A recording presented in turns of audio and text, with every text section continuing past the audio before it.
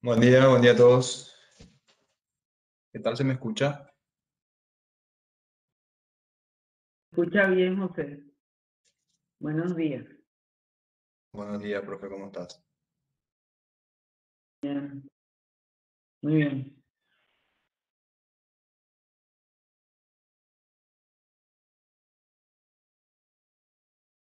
Tenemos bastantes participantes, a ver, 12.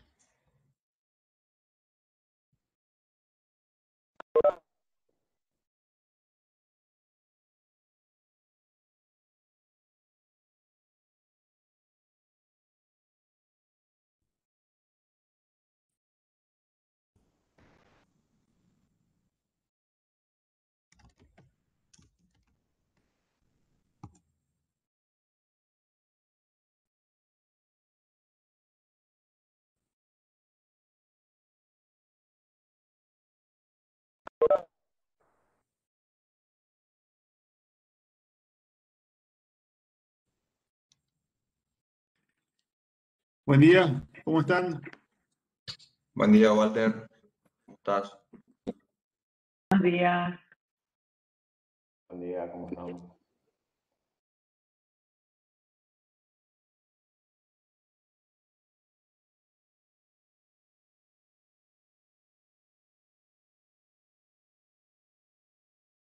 Bueno, vamos a ver eh, cuántos inscritos teníamos y si ya estamos, arrancamos en, un minuto.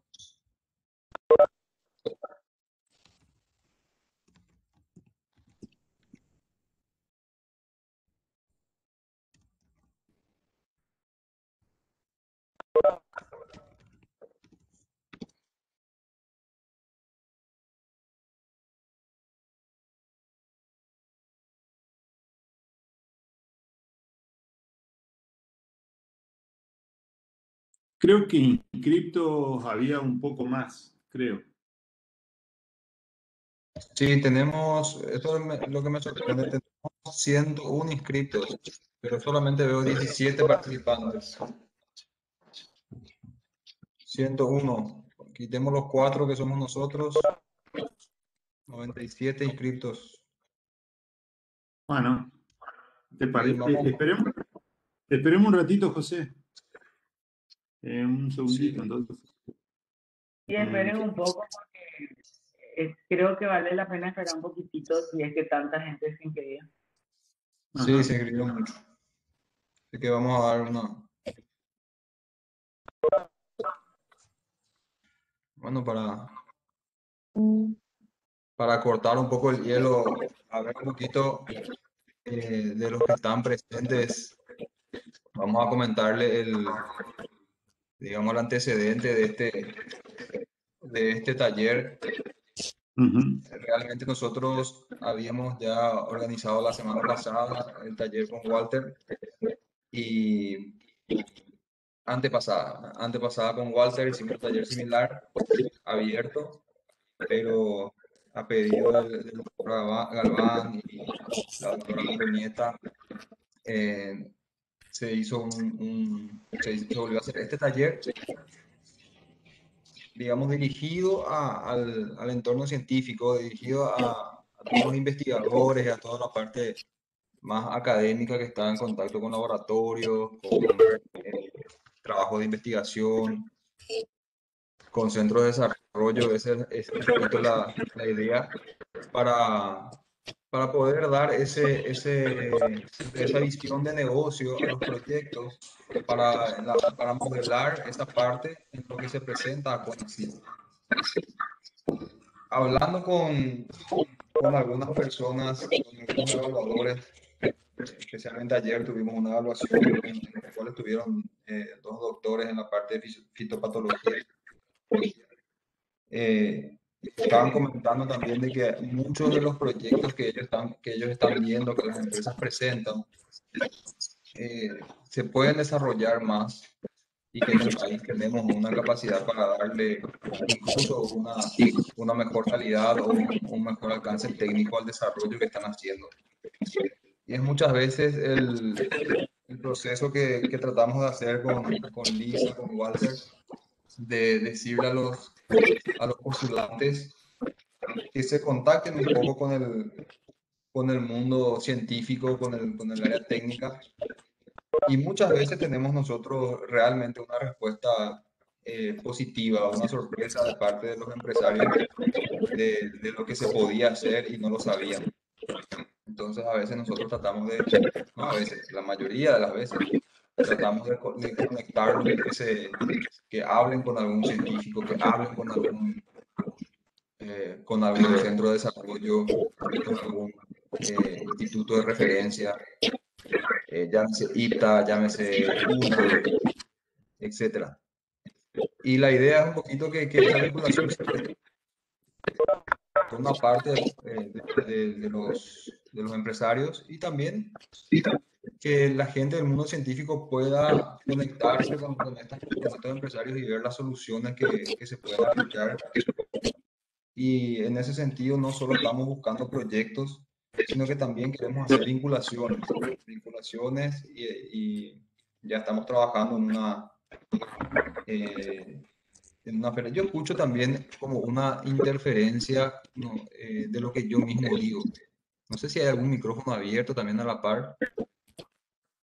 Buenos días, eh, José y compañeros. Yo creo que hay que pedir que apaguen sus micrófonos porque es una retroalimentación lo que está causando ese ruido, por favor.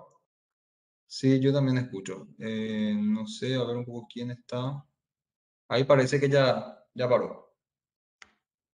Bueno, entonces estamos cre queriendo crear esos ambientes de, de, conexión, no sé hasta dónde escucharon, eh, crear ambientes de conexión entre, entre investigadores, entre científicos y, y la parte empresarial. Lo que pudimos lograr hasta ahora se dio con mucho éxito y con Walter y Lisa estamos armando algo más masivo, digamos como, como una red en la cual podamos hacer un foro, podamos hacer un webinar, pero bien distendido, o sea, hola, yo soy Walter, yo soy José, yo soy Lisa, yo soy Adrián, yo hago esto, ah, mira, yo soy Ángela, soy de tal empresa, yo busco esto, en la cual se puedan hacer vinculaciones y puedan salir proyectos a partir de las necesidades de las empresas, qué sé yo, las empresas que presenten sus necesidades, mira, estos son nuestros desafíos, y que los investigadores puedan presentar, mira, estos son nuestros, nuestras capacidades, nuestros proyectos, lo que estamos trabajando, y que se visualice, que se vea. Eh, aprovechando también que ahora se hace todo virtual y eso hace que se llegue más. Si bien pasan estas cosas como que no funciona el micrófono, se tranca, el internet de repente es intermitente, pero se llega mucho más, uno se conecta en la oficina, no tiene que trasladarse, entonces se puede llegar más fácil a más personas. Ese es un poquito el trabajo que estamos haciendo con, con el apoyo de, de, todos los miembros, de, de, todos los ministros del Consejo de CONACYT, que siempre están apoyando a, a, las actividades que estamos haciendo. Esta es una actividad que se dio por una iniciativa de, del Consejo y es una oportunidad que, que, tenemos nosotros para contactar con, directamente con el grupo de investigadores que están trabajando en, en estas áreas y poder generar proyectos para presentar a CONACYT. Si bien mañana cierra la ventanilla, que es una pregunta que va a surgir seguro, mañana cierra, mañana cierra. Bueno, nosotros vamos a hacer una reapertura de esa ventanilla en 15 días. Vamos a cerrar esta, esta ventanilla mañana, vamos a darle un corte, vamos a, a, vamos a volver a lanzar la ventanilla el 15, pero en ese periodo intermedio vamos a hacer una serie de mejoras a ese proceso de postulación, sobre todo al, al, al, al SPI que muchos ya conocen, que es donde uno postula, vamos a hacer una, unas optimizaciones algunos cambios para volver a lanzar el, eh, para poder para volver a lanzar el 15 ya con esas mejoras introducidas que muchas vienen de este trabajo que se hizo. Es la segunda vez que vamos a relanzar, o sea, ya cada vez vamos depurando un poquito más. Aquí veo en el chat, dice, no tiene sonido. Un ratito.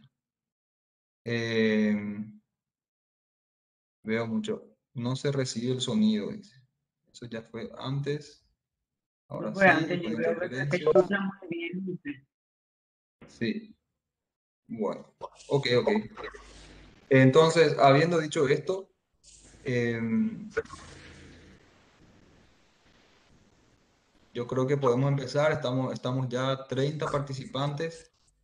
No sé si, em, a ver, un poco está el señor eh, Galván o la doctora Antonieta, si nos quieren dar un poquito, unas palabras de, de cómo surgió esto y cuál es la oportunidad que estamos buscando, o directamente vamos con, con Walter como, como ustedes prefieran.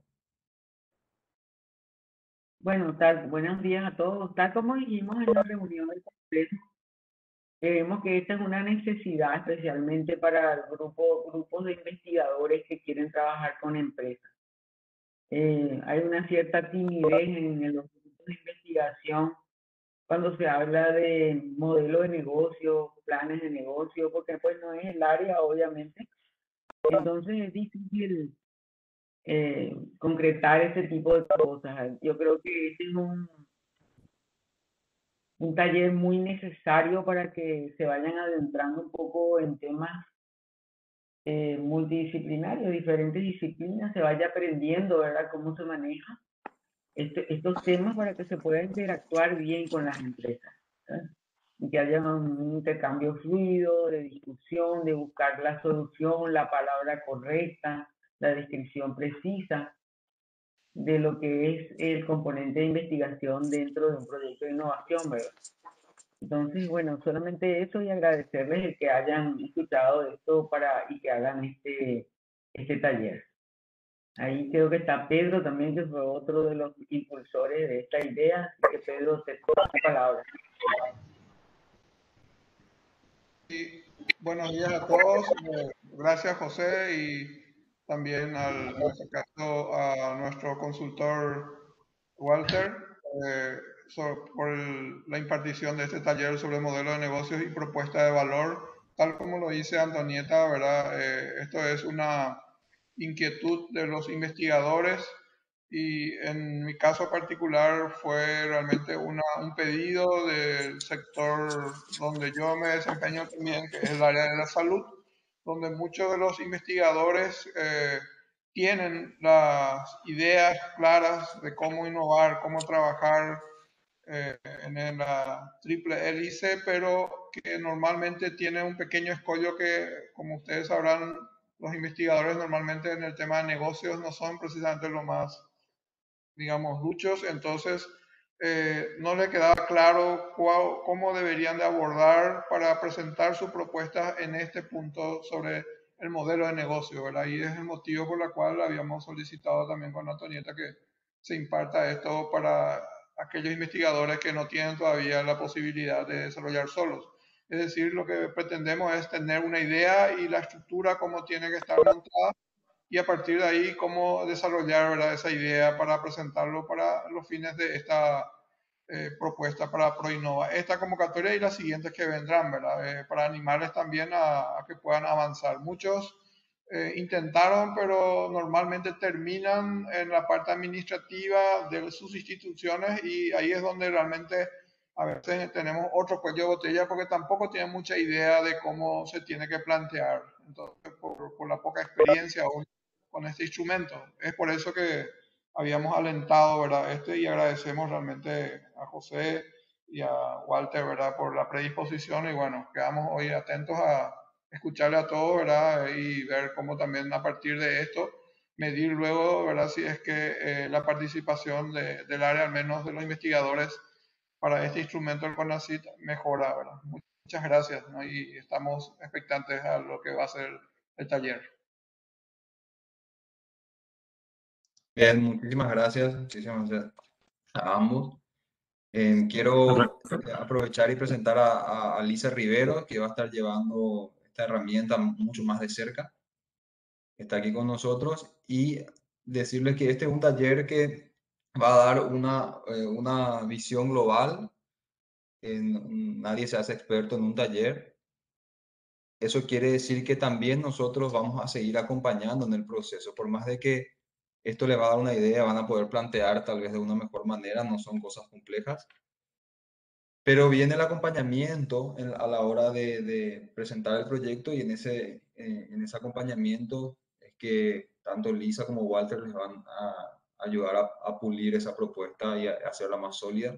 Por lo tanto, los que quieren presentar no, no se preocupen por tener todos los detalles ajustados, sino que tal vez puedan tener ya un borrador y ese primer borrador lo vamos madurando y, y con eso podemos avanzar. Bueno, Buenos días a todos, bienvenidos. Quedo a las órdenes, voy a estar eh, poniendo disponibles los correos a los que pueden dirigirse a partir de las dudas que puedan surgir.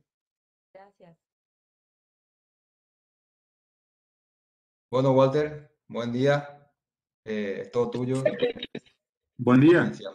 Eh, lo- los presentes son todos investigadores y o científicos, los participantes.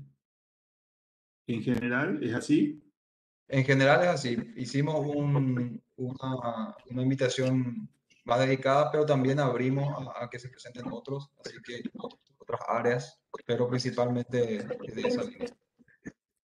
Bueno, eh, José, ahí se ve un slide azul.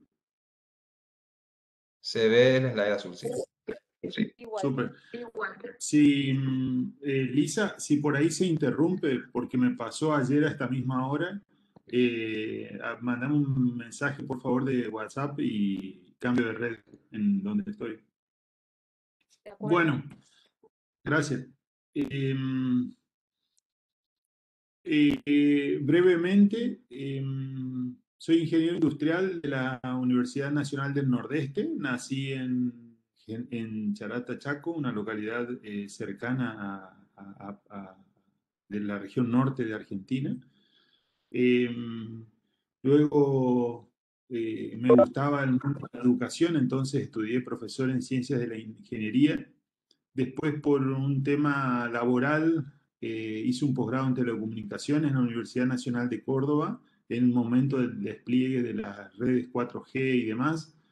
Eh, un posgrado de formación gerencial en la Universidad Torcuato Di Tella en, en Buenos Aires eh, durante dos años. Magíster en dirección de empresa en la Universidad Nacional de Córdoba.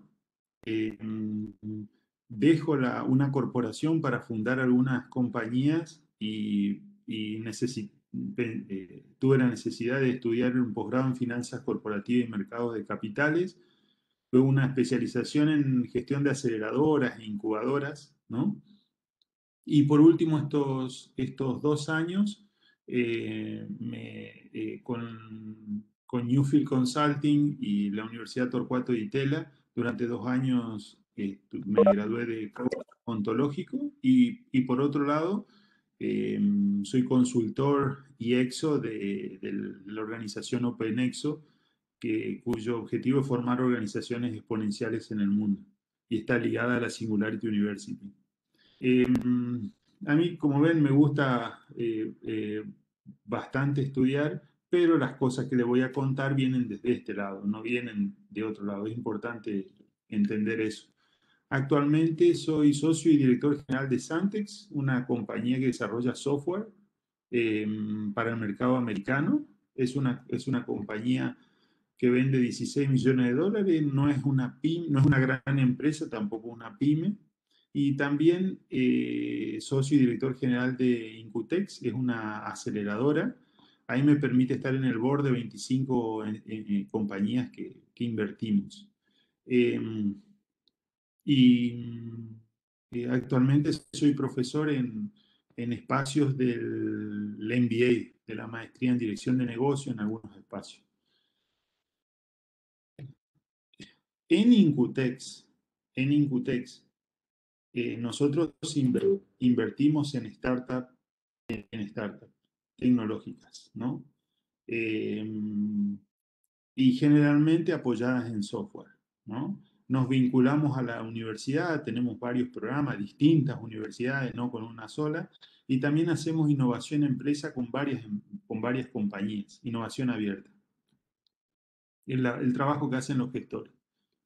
Pero yo pasé por dos experiencias hace cuatro años yo vine eh, enamorado del ecosistema israelí, de Silicon Valley, de Irlanda, y, eh, no personalmente, pero entre los fundadores de Incutex perdimos 125 mil dólares en dos proyectos. Mm, sí, lo perdimos, aprendí un montón, aprendí un montón acerca de la transferencia tecnológica que me gustaría charlar al final, si son investigadores y están en esto. Eh, en dos proyectos, uno trataba de la reutilización de enzimas y el otro para disminuir el cáncer, el cáncer de colon. Em, yo estaba casi convencido de que íbamos a fracasar, pero lo mismo lo abordamos, eh, invertimos tiempo, dinero y aprendimos un montón. Y el aprendizaje, e, ese aprendizaje hace que hoy no esté vinculado a eso, por ejemplo, pero que esté esperando la oportunidad para esa vinculación. Lo que vamos a ver hoy tiene que ver con em, eh, si yo tengo una idea para resolver algo, ¿cómo, la puedo, cómo me puedo asegurar que eso va a, eh, que realmente va a resolver un problema real y que ese problema es grande, ¿no? Y que se lo puede escalar y que se pueda hacer un negocio detrás de ello. Entonces, em, lo que les quería transmitir es que yo no, em, he participado con investigadores en estos proyectos y cada vez que le transmito un conocimiento, realmente me acuerdo de esos momentos, me acuerdo de las oficinas de transferencias tecnológicas, visité seis oficinas de transferencia tecnológica en el mundo para ver cómo hacían las cosas y pude entender por qué en Latinoamérica este, eh, estamos, estamos como estamos en lo que es transferencia tecnológica. Pero este modelo es válido independiente eh, de quién lo lleve adelante, lo que vamos a ver ahora. Eso es algo adicional que al final me gustaría que veamos tres slides sobre transferencia. Cuando uno, uno puede tener una idea que resuelve algo, ¿no? En general tenemos ideas o que resuelven un problema o que aprovechan una oportunidad, ¿no? Eh, eh, van por esos dos lados. La mayoría de los proyectos que se, que se presentan a Proinova, eso lo traen completo. Y pero luego se empieza a caer si esa idea crea valor para el negocio. Puede llegar a crear valor para el cliente, pero es importante entender si crea valor para el negocio. Y por otro lado, eh, si, si es aplicable, hay tendencias sociales, macroeconómicas, legales, regulatorias.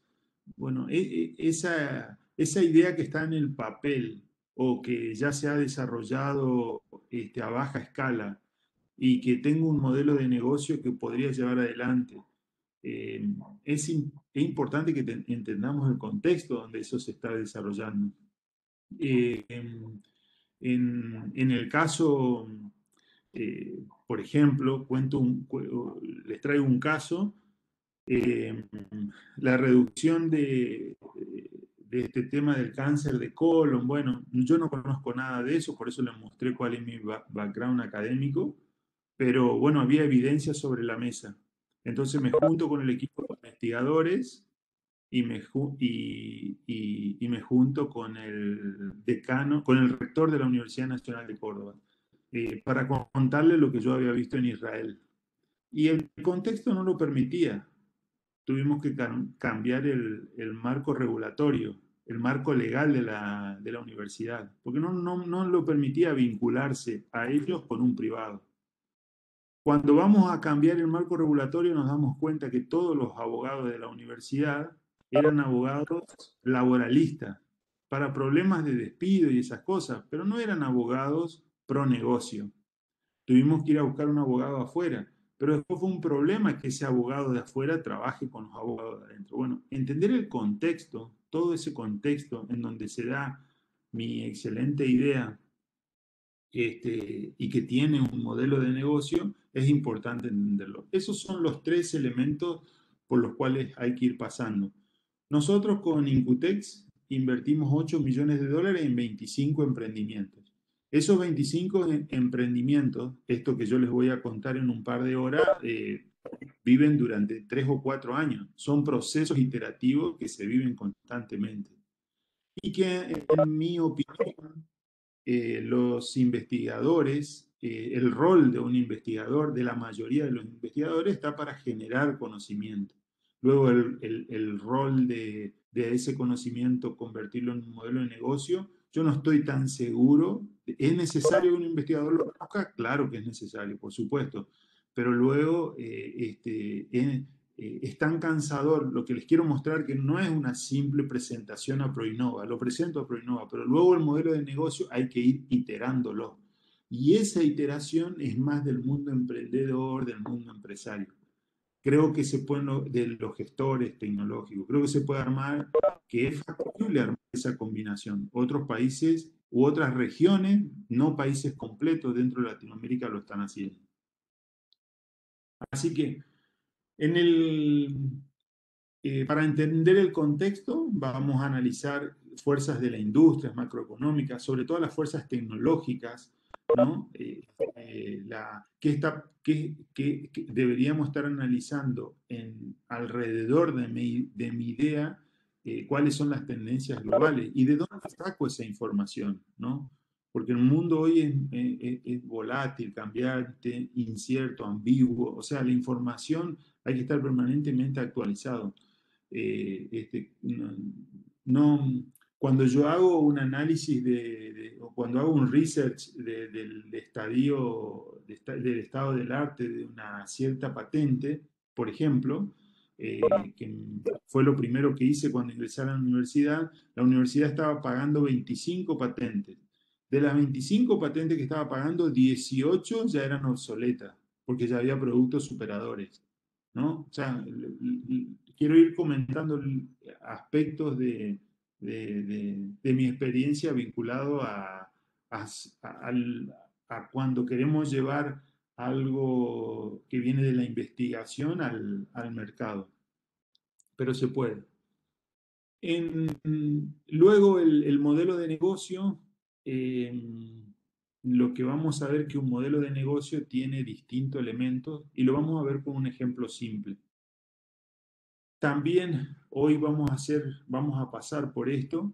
El, modelo de negocio tiene dos elementos eh, importantes que son el cliente y el mercado. Y es importante que, comprendamos es, los elementos. Son, es muy simple de entender, pero los elementos sobre los cuales eh, eh, describimos el perfil de cliente y describimos el mapa de valor. Eh, esto está pasando ya en Proinova, ya tenemos 31 proyectos, un poco más ya de proyectos, digamos, teníamos 31 hasta hace 10 días, ahora debemos tener unos 41 y, esos proyectos se van retroalimentando este, en cada encuentro que vamos teniendo. Hay proyectos interesantes, o sea, hay posibilidades reales de, que lo que ustedes apliquen, si, este, si, tiene, sentido, si hace sentido a, a, Proinova, que se le dé curso. No es, no es algo que se va a hacer en el futuro, es algo que está ocurriendo ya. Así que me gustaría pasar específicamente a, comprender cómo se crea valor para el negocio. ¿no? Em, un, cuando, ¿qué es un modelo de negocio? En la universidad nosotros aprendemos, en la universidad tradicional nosotros aprendemos plan de negocio. El plan de negocio es útil cuando el producto es conocido y el mercado es conocido.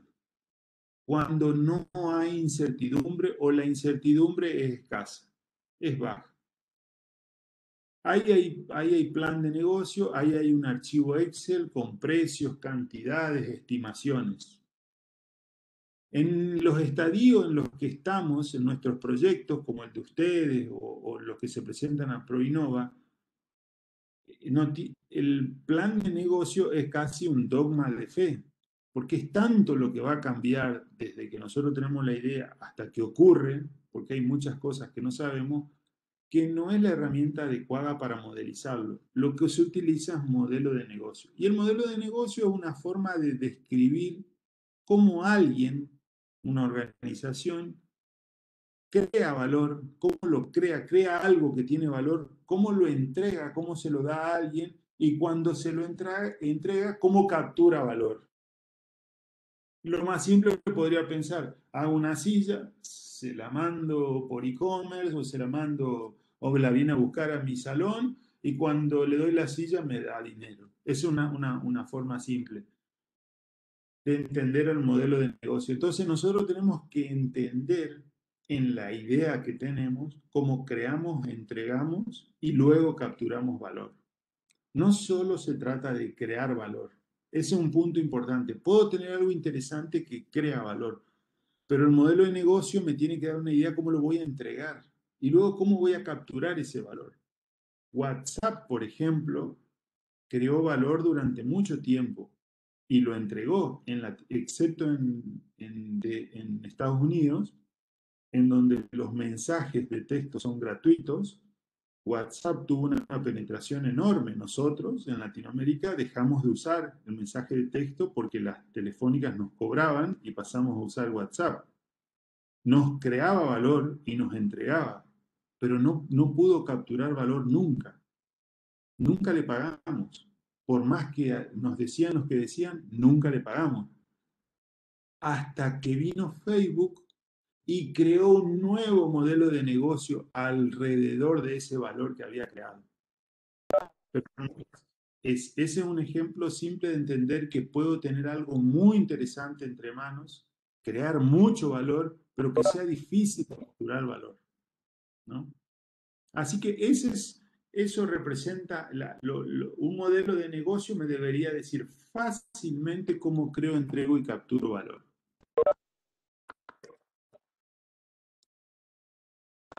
Tiene nueve módulos. Los dos módulos más importantes es la propuesta de valor, qué problema resuelvo qué oportunidad aprovecho, y el segmento de cliente. ¿A quién yo voy a servir esa propuesta de valor? ¿Cómo la voy a entregar? Los canales. ¿Cómo me voy a vincular con los clientes? Antes de la venta, durante la venta y luego de la venta. Eh, o antes de la entrega, durante la entrega y después de la entrega, porque no siempre es venta.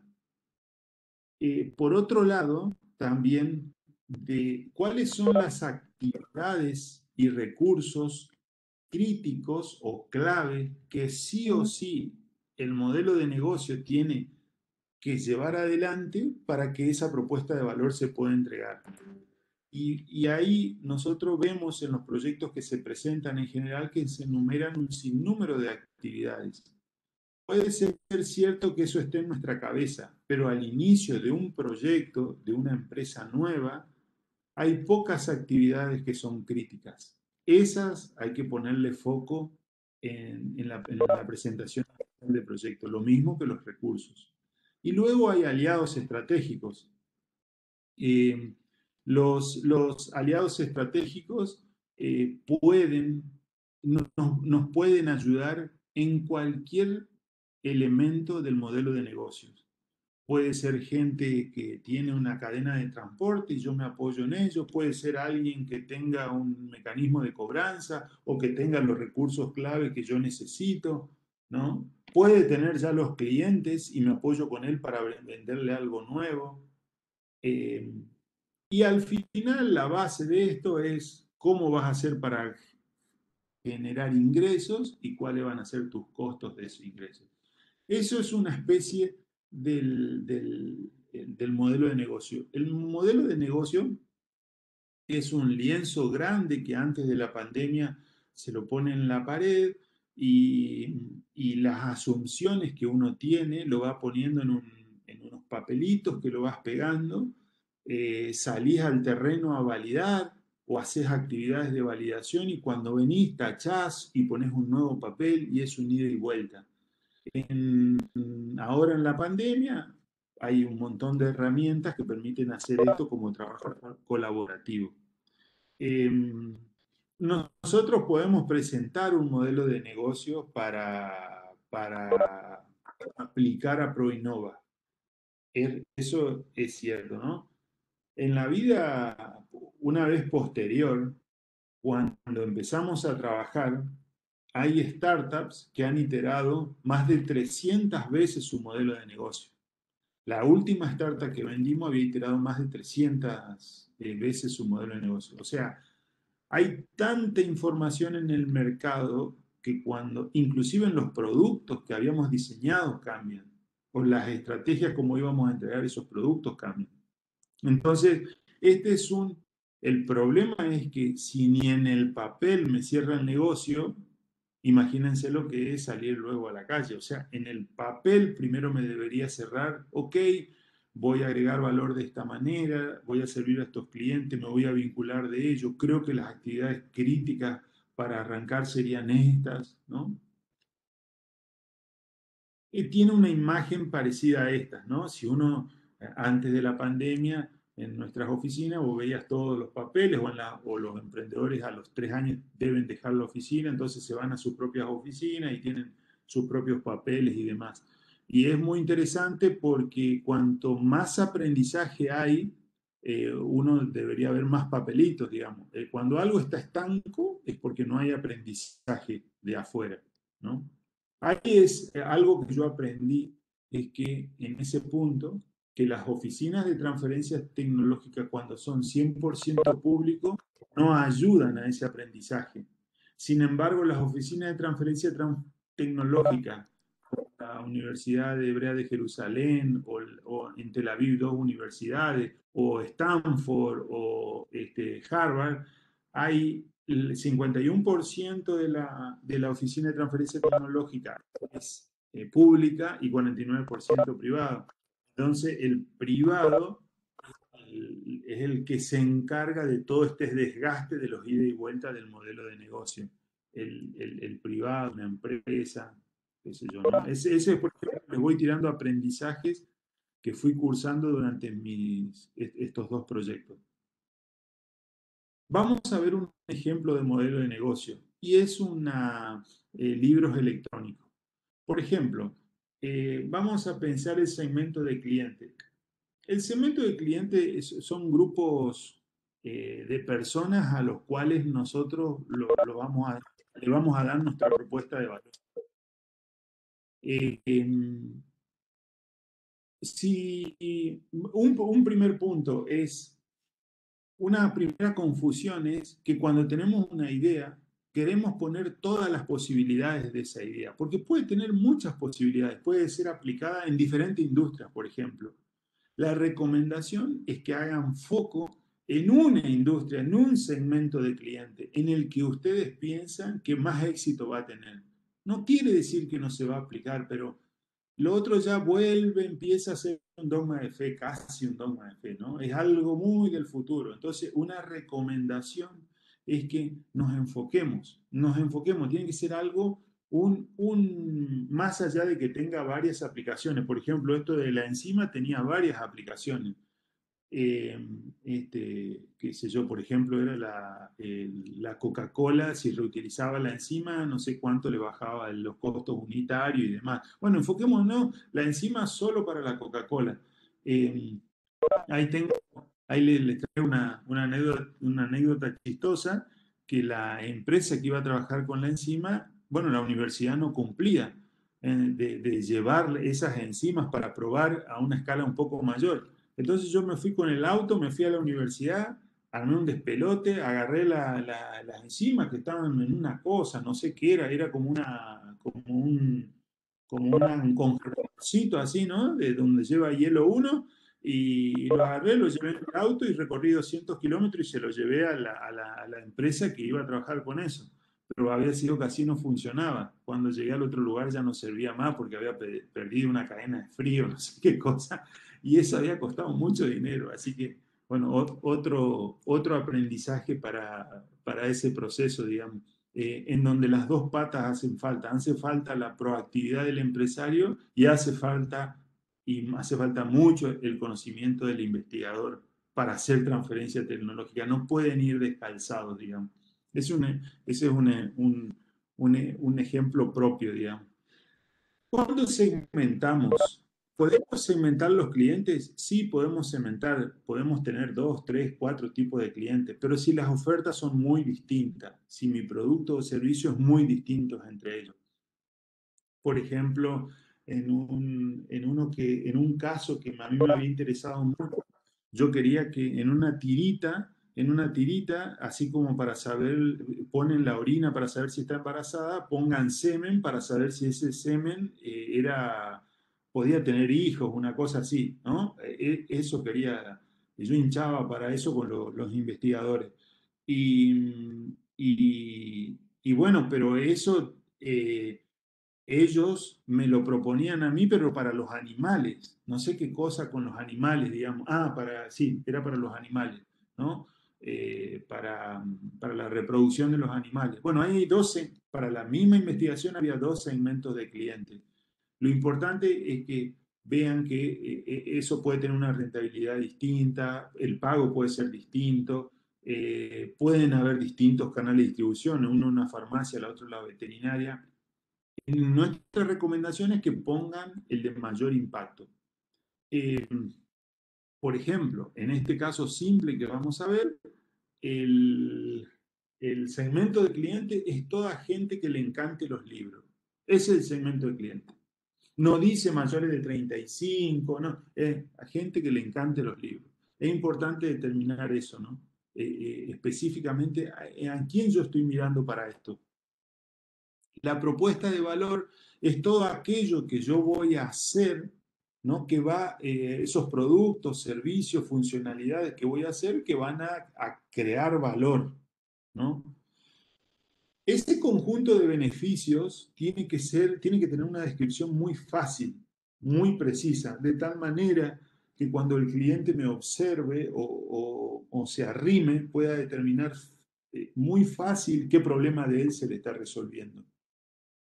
Ya vamos a ver que un cliente, el slide anterior, tiene, está haciendo hoy algo eh, vinculado a, nuestro, a nuestra solución, de alguna manera está, lo está resolviendo y cuando lo resuelve tiene dolores, cosas que no le gusta y cosas que gana. Bueno, nuestra propuesta de valor debe aumentar la ganancia y mitigar o eliminar esos dolores. Por ejemplo, en algunas propuestas de valor pueden ser que es algo totalmente innovador, o no, algo que mejora el rendimiento, por ejemplo, esto de la enzima era mejoraba el rendimiento, lo mismo que el del cáncer mejoraba el rendimiento de otra cosa que ya había.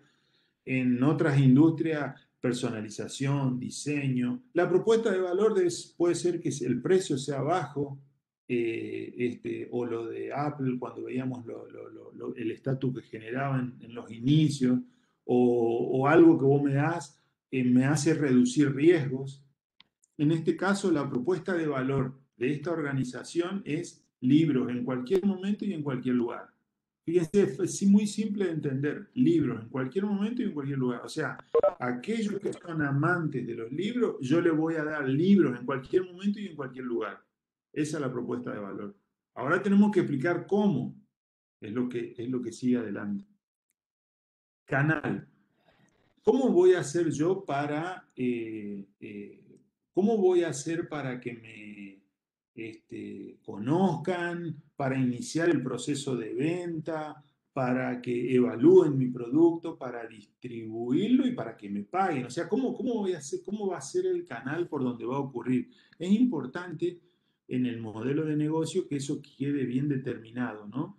Em, ¿Cómo, si eh, hay una parte que por ahí nos olvidamos cuando modelizamos un negocio, que es, bueno, yo mi producto se lo voy a hacer llegar de esta manera, por una página de e-commerce, va, a ser una venta directa, va a venir a comprar a un lugar, ¿no? Pero por ahí nos olvidamos de todo lo que viene después, que es la postventa. Los americanos son muy buenos en eso y eso es lo que más foco le pone. Es decir, que la postventa sea extraordinaria, los servicios de postventa sean extraordinarios, que sean por upselling o cross-selling y no que sean por, por fallas en los productos ¿no? o servicios. Pero lo importante es entender cómo voy a, cómo vos, decís que libros en cualquier lugar, en cualquier momento, a los amantes de los libros. Bueno, ¿cómo vas a hacer para poder entregarle los libros. ¿No? Bueno, va a ser a través de tabletas del cliente. Hay distintos tipos de canales, como le decía, las fuerzas de venta, vendedores en, la calle, un sitio web, los, los, los gestores de aplicaciones, tiendas propias, tiendas de socios, franquicias, eh, eh, a través de mayoristas, distintos tipos de canales. Eh, acá en este caso, el canal por donde iría la propuesta de valor sería una tableta del cliente. O sea, a través de una tableta del cliente yo le entregaría libros en todo momento, en cualquier momento, en cualquier lugar, vos podrías leer los libros que a vos te encantan. Cualquier libro, cualquiera, ¿no? Relación con el cliente. la parte de arriba, el último elemento del segmento de la derecha del modelo de negocio. O sea, ¿cómo yo me voy a vincular con ese cliente? ¿Cómo ¿Cómo, ¿Cómo primero me van a conocer? Una vez que me conozcan, ¿cómo lo voy a captar? Una vez que eh, le ve, ¿cómo le voy a vender y cómo lo voy a fidelizar para que me siga comprando? ¿no? Em, eh, la relación, cuando decimos la relación con el cliente, estamos diciendo cómo va a ser la experiencia en todo el proceso, desde oferta, compra, postventa, cómo va a ser la experiencia, por dónde me voy a vincular, ¿no? Y acá aparecen, este, bueno, va a haber un, líder de cliente que te va a estar atendiendo, o no, o va a ser autoservicio, yo no, no va a haber nadie, solamente vos te vas a atender, o va a ser todo automatizado. Eh, el servicio va a ser a través de una comunidad, piensen en Uber, por ejemplo, Airbnb. Eh, los, eh, vamos a co-crear junto el producto, como las computadoras de Dell que yo empiezo a crear la computadora y al final digo, esta es la que quiero y, ¿no? Em, ¿Cómo va a ser la relación con el cliente? Bueno, acá la relación con el cliente va a ser autoservicio. Es decir, va a haber una aplicación eh, dentro, va a haber una aplicación dentro de una tableta en donde él va a poder elegir cualquier libro en cualquier lugar y lo va a poder leer. Fíjense que todavía no está diciendo cómo va a pagar, cómo, ¿no? ¿no? E, eso es lo que tiene el modelo de negocio, que te permite ir comiendo el elefante de abocados, digamos, ir entendiéndolo de, de, a poco, digamos. Eh, em, el otro punto es el flujo de ingresos. Ok, ¿no? Eh, estás, hay alguien que tiene un problema, vos lo servís de alguna manera para resolverlo o aprovechás una oportunidad le entregás esa propuesta de valor, te vinculás, tenés una relación, generás una experiencia, y bueno, ¿cómo vas a hacer para ganar dinero? Y en general hay dos tipos de transacciones, derivadas de pagos puntuales o pagos recurrentes periódicos. Em, pagos puntuales o pagos recurrentes periódicos. Y acá me quiero ir un, un segundito nomás, un segundito me voy a, a un último slide pero es algo que, que, yo... Eh, en, esto Argentina, ¿no? Porque yo la estoy peleando a esto acá en Argentina. Por cada dólar de licencia hay mil de servicios. Por cada dólar de licencia hay mil de servicios. Pero los servicios son one shot, o sea, son específicos, individuales, casi por única vez. En cambio, las licencias son recurrentes. La universidad, para que no dependa del tipo del, gobierno o de quien sea, debería generar licencias para que eso retroalimente todo el proceso de investigación, ¿no? Pero esto es lo que ocurre. Entonces, cuando vamos a, modelo de negocio, donde estamos? Estamos acá en el precio, en el flujo de ingresos. Eh, el, el, perdón, acá, en el anterior, ¿eh? este, ¿Este Sí, este, eh, veíamos que hay ingresos por transacciones, por pagos puntuales, que serían los servicios, acá hay servicios de la universidad hacia clientes, o ingresos recurrentes de pagos periódicos, como puede ser una regalía. Em, eh, encontré y documenté casos que se iniciaron por, ser, por pagos puntuales y que luego la empresa sola en su ámbito logró hacer que, eso sea un producto y realmente eh, algo le correspondía a la universidad de, pago recurrente de, de, ese producto que primero fue un servicio. Pero no estaba el marco legal armado con el cual la empresa sigue generando beneficios y, y no vuelve nada al, sistema público, por ejemplo, en ese caso. ¿no? Ese es un ejemplo de, uno siempre tiene que intentar generar, eh, negocios que generen ingresos recurrentes. Es muy difícil. Ese ingreso recurrente puede ser una venta o un alquiler de activos, eh, una tarifa de uso, una suscripción, licencias. Eh, puedo intermediar, estar en el medio y ganar una comisión por publicidad. En este caso, a vos te gustan los libros, tenés, entras en una tablet, vas a pagar por uso. Empezás a leer y empezás a pagar, te empieza a correr un contador. Dejas de leer, no, te cobra más. Ese es el modelo. Los, precios, eh, puede haber distintas formas de configurar los precios, ¿no? Va a depender del modelo de negocio, pero lo, más importante acá es, eh, eh, va a depender del producto también, pero lo más importante por ahí en este, en este punto es entender esos, esas dos formas de pago, o, one shot, o por única vez, o por regalías, digamos, ¿no? Recursos, nos vamos para el lado de la izquierda, recursos clave. No, en no todos los recursos que nosotros pensamos tienen que estar en el proyecto son claves. No son todos claves.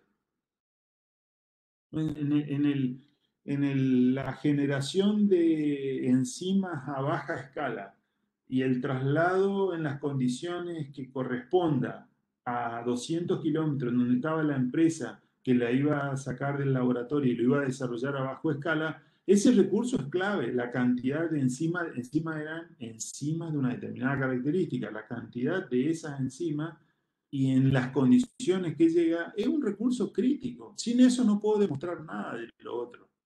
Por ejemplo, en ese caso, ¿no? Los recursos pueden ser de todo tipo, físico, intelectual, humano, financiero. En este caso, el recurso crítico para este modelo de negocio es el derecho de distribución. Si yo no tengo de los dueños de los libros los derechos de distribución del libro, es decir, el usuario no va a poder hacer clic en el libro y leerlo. Hoy, hoy, hoy, antes, ahora Amazon ya tiene esto, pero antes Amazon yo tenía que comprar el libro. No lo podía leer, leer una parte y pagar por eso, ¿no? Entonces, para poder hacer e, eso, esta empresa, esta organización, esta startup, este emprendimiento, este proyecto tiene que tener los derechos de distribución. Entonces, ¿necesita más cosas? Sí, necesita desarrolladores que puedan hacer la aplicación, pero eso es secundario. Puedo tener una aplicación espectacular, pero si no tengo los derechos de distribución, no hay negocio. La pregunta es, ¿cuáles son aquellos recursos que si no están, no hay negocio? Y lo mismo vale para, para las actividades clave. ¿no? Lo mismo vale para las actividades. Las actividades son distintas, ¿no? Producción, marketing, eh, comercial, va a depender del modelo de negocio, pero acá es preguntarnos cuáles son aquellas actividades. Este, tengo muchas cosas para hacer, pero hay algunas que son críticas para que esto funcione. En este caso es lo mismo que Netflix, actualizar la cartera de libros electrónicos. Si yo, si la cartera de libros electrónicos no está actualizada, eh, lo que yo oferto a los amantes de los libros eh, eh, disminuye. O sea, esa es una actividad crítica. Yo tengo que lograr, aparte de que me permitan la distribución, tener la licencia que pueda distribuir esos libros, también tengo que tener muchos de esos. Tengo que tener muchos acuerdos con muchos autores o con, muchas editoriales. Tengo que tener muchos libros en la cartera. ¿No? Socios claves, esta es la, parte que a mi entender en Latinoamérica más necesitamos. Hay muy pocas cosas que podemos hacer solo. Eh, buen día, Esther. Em, pero necesitamos, por ejemplo, acá entender cuál es esa red de organizaciones, proveedores, eh, aliados, que si están dentro del modelo de negocio me lo van a poder este, van a reducir el riesgo, me van a poder optimizar, ¿no? Van a poder optimizar el modelo de negocio, ¿no? qué sé yo, en el, En el caso de, las, de, la, de este tema de la, del semen, que yo les conté de la, tableta esta, un aliado clave era, el, había un lugar en donde, en donde se hacían este tipo de estudios, un hospital específico. Bueno, entonces era una, una alianza clave, era un hospital público de que permita a, todo, a, eh, la gente que iba a tratarse eh, poder usar, porque no era invasivo y se podía ir practicando, digamos, una cosa por el estilo. Había que hacer un acuerdo con ese hospital. Una, una, es un aliado. Quizás no era el primero, no era el estratégico, pero para ponerles un ejemplo, em, como le decía, un, un, aliado es clave si o me genera economía de escala, me permite escalar lo que yo tengo o reduzco el riesgo.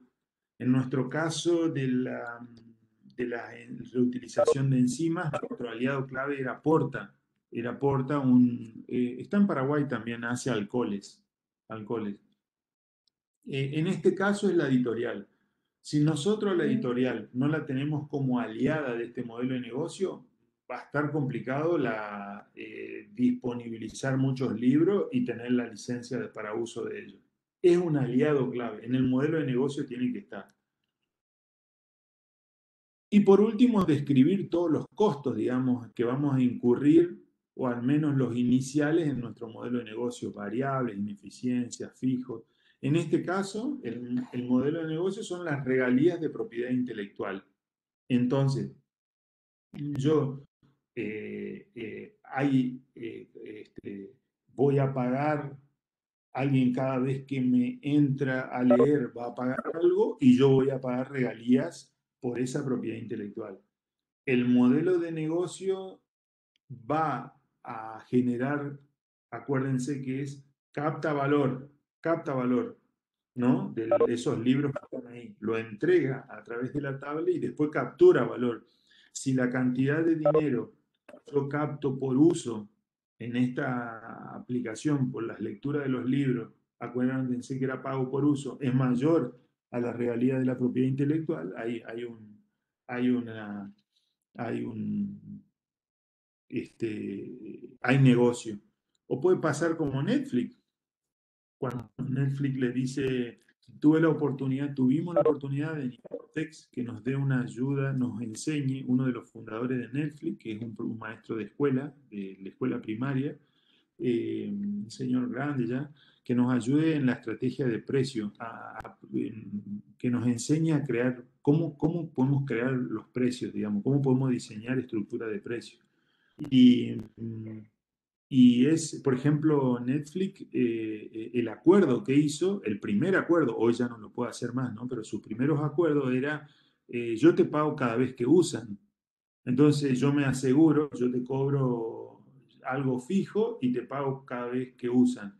Como yo conozco la tasa de uso, más o menos puedo saber cuándo voy a ganar dinero, cuándo voy a perder dinero, ¿no? O, o, o, cómo, este, o cómo ese negocio termina cerrando.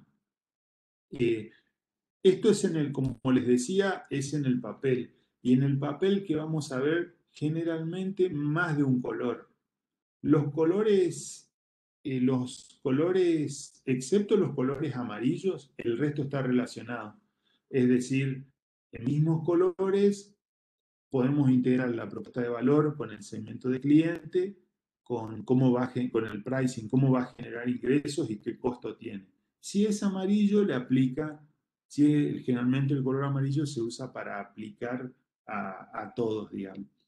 ¿Qué, ¿Qué veo yo en la práctica de esto? Es que los primeros camas son muy lindos y le dan bolilla.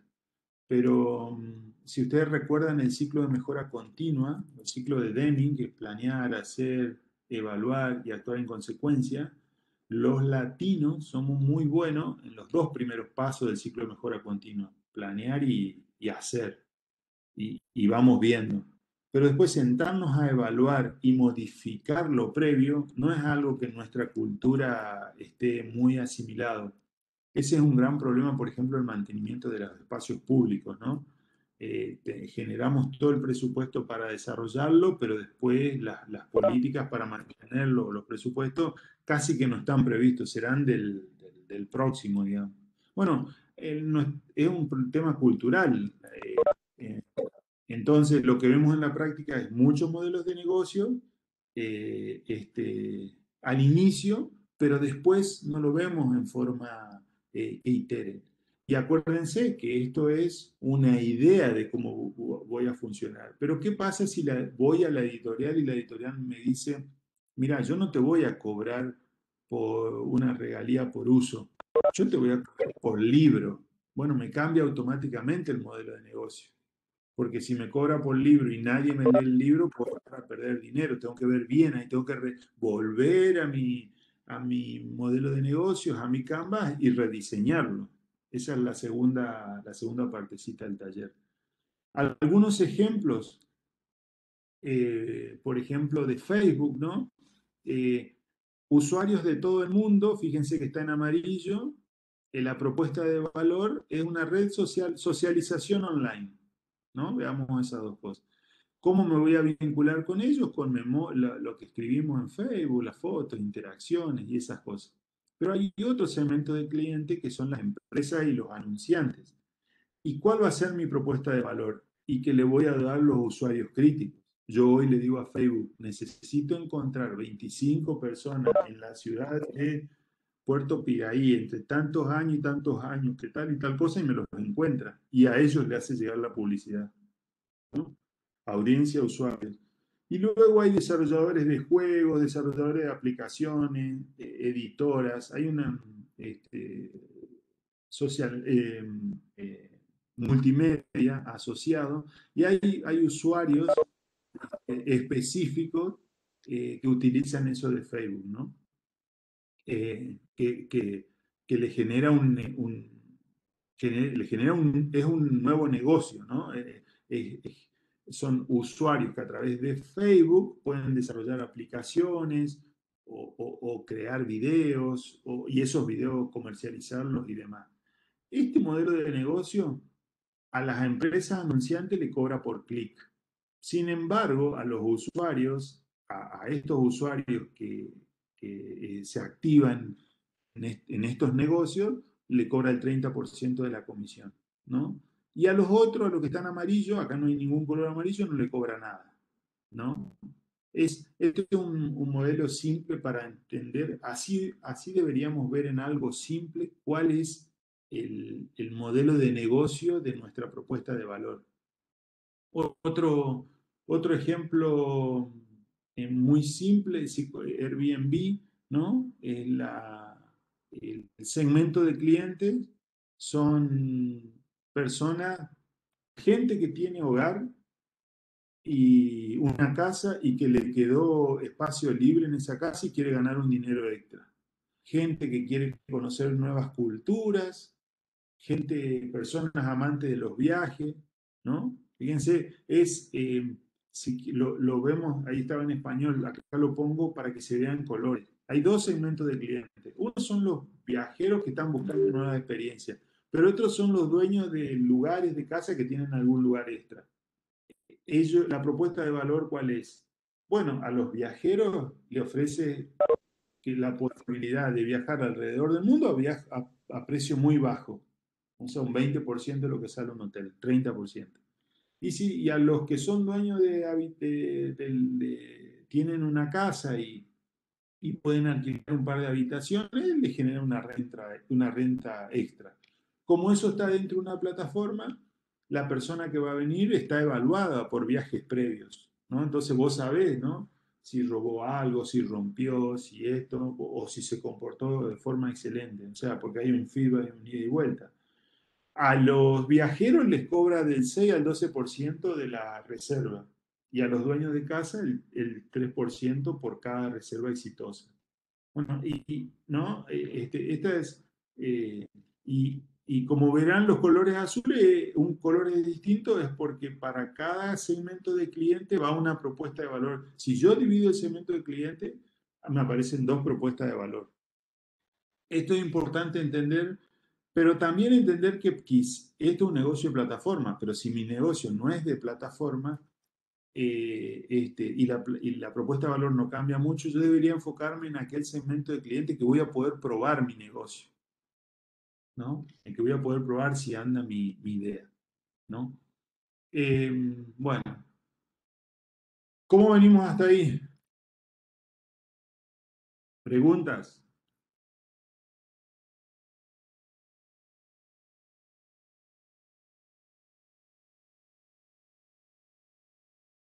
¿Preguntas? ¿Alguna Yo, pregunta por chat? ejemplo, eso, eso que dijiste al último tema de sería, sería como los hosteles así de Europa, eso, ¿verdad? Eh, no, Airbnb es una mm, lo- Airbnb es una plataforma global, es la cadena de hoteles. Ustedes conocen Uber, porque yo andu- anduve hace muy poco en Uber en Paraguay. Desde el aeropuerto tomé un Uber hasta el hotel. O sea, en Paraguay hay Uber. Uber es una plataforma que conecta gente que quiere hacer un viaje seguro a bajo precio con gente que tienen autos disponibles y no son taxistas. Se suben a la plataforma y se asignan los viajes. Gente que tiene auto disponible y un poco de tiempo. Bueno, o sea, es la red de transporte de taxi más grande del mundo y no es dueña de ningún taxi. En los hoteles hay algo semejante que se llama Airbnb. La, red- más grande, que más camas tiene de alojamiento se llama Airbnb y ellos no son dueños de nada. Vos tenés una... eh, yo fui a una, a una señora en, en... ¿Dónde era? En Des Moines creo que es, en Iowa. Y la señora y el señor eran grandes y los hijos se habían ido. Y le había quedado una, una parte de atrás libre y lo tenían en el Airbnb. Bueno, yo me voy ahí, me queda a dos cuadras de mi trabajo, de, de- de las oficinas. eh, no hay, no hay nada distinto, digamos, para, para dormir ni nada de eso, pero, pero pago un, un 10, un 20% de lo que saldría un hotel. Eh, ellos ganan algo adicional, yo también gano algo adicional, y se disponibiliza la abundancia de, de- de- camas que hay que antes estaban solo en los hoteles, digamos. Esa aplicación se llama Airbnb, una organización mundial enorme. ¿no? Esa es la que estaba contando. Y ahora, ahora que comparaste con Uber, se me ocurrió así otro negocio, aparte de ese ganar poquitito, poquitito. Hubo, por ejemplo, crear la aplicación, como dijiste, como Uber, pero en versión de las casas y eso. Y eso, no sé, es como se me ocurrió ahora nomás. Se puede hacer también porque vi que no, no hay aplicaciones de eso. Lo que sí ¿De hay es Trivago, lo que hay toda aplicación de hoteles, pero en, eh, eso todavía no hay. Creo que ni siquiera en ninguna parte del mundo no hay. Lo que, te- lo que yo conté, sí, Airbnb existe. mm, No, no, sí, es, es, es global y es mundial, digamos. Sí, re Pero funciona, creo es página, página, página web es verdad. Sí, pone, pone Airbnb en, en Google ahora y fíjate. Y pone No, Asunción. pero te, te digo nomás ver. que aplicación, aplicación no hay, ¿verdad? Aplicación tipo Uber. ¿A dónde? Y en Bien, y aplicación. No hay No- una no te- aplicación así tipo Trivago, tipo Uber de ese BNB. Lo que sucede es que Trivago integra hoteles. Airbnb lo que hace es integrar casas de familia que tengan espacio. Airbnb integra espacios en casas de familia. Es una aplicación que integra las casas de familia de, todo el mundo que tengan espacio. O casas solas, digamos, casas solas que vos quieras hacer alquiler temporal. Claro, ahí está. Una pregunta. Sí, ¿En, en qué momento de- del lienzo es que es útil o es a la par previo el- un estudio de mercado para determinar eh, todas las partes del lienzo, sobre todo la propuesta de valor? Perfecto.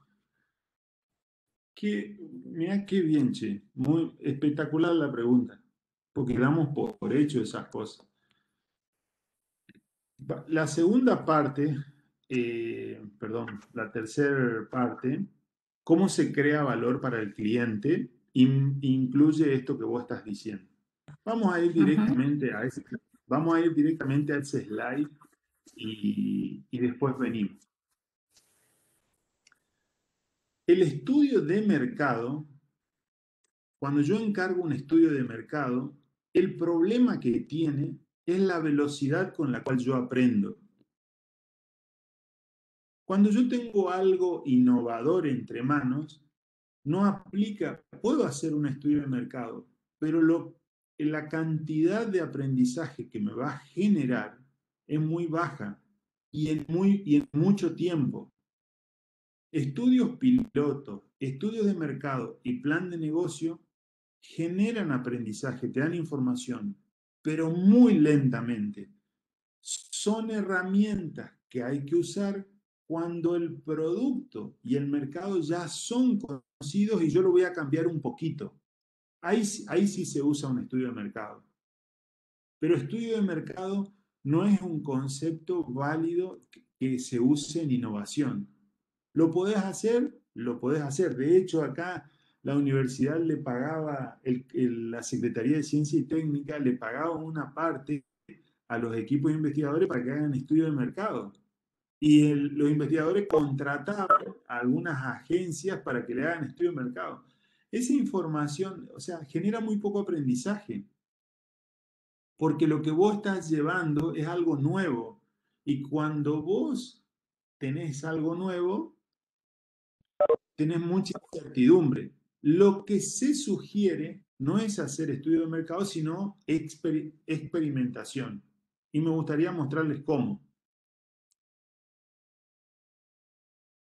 Es muy simple. Vamos a, eh, eh, creo que lo, creo que va, vamos a abordamos esa pregunta desde esta, desde esta segunda parte del taller. Yo ya tengo el modelo de negocio. Ahora bien, necesitamos profundizar en el segmento de mercado y en la propuesta de valor, en estos dos. Yo necesito saber del segmento de clientes, tener bien claro cuáles son las tareas que hace hoy, esas tareas que frustraciones le genera y qué alegría. Las tareas vinculadas a mi idea, a mi idea ¿no? Y yo tengo, si, si mi producto o servicio no aumenta las alegrías o no reduce o elimina las frustraciones, la probabilidad de uso, ni siquiera de pago, la probabilidad de uso decae.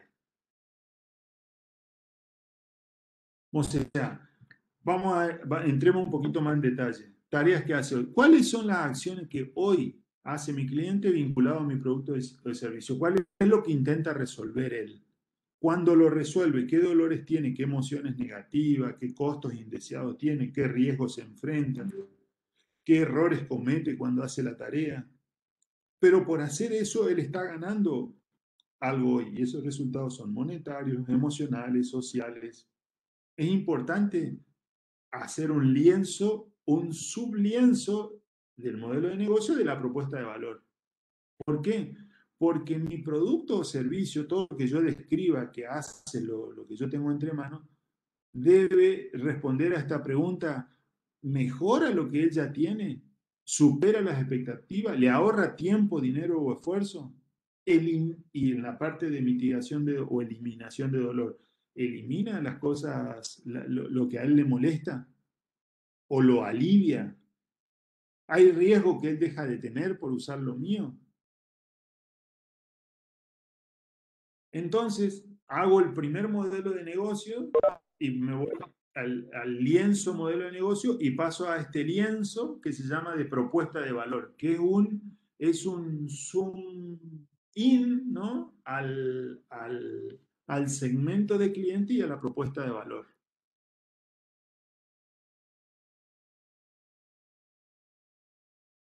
Mi segmento de clientes, este es un, le vamos a compartir, esto tiene todo ya con así de estas presentaciones.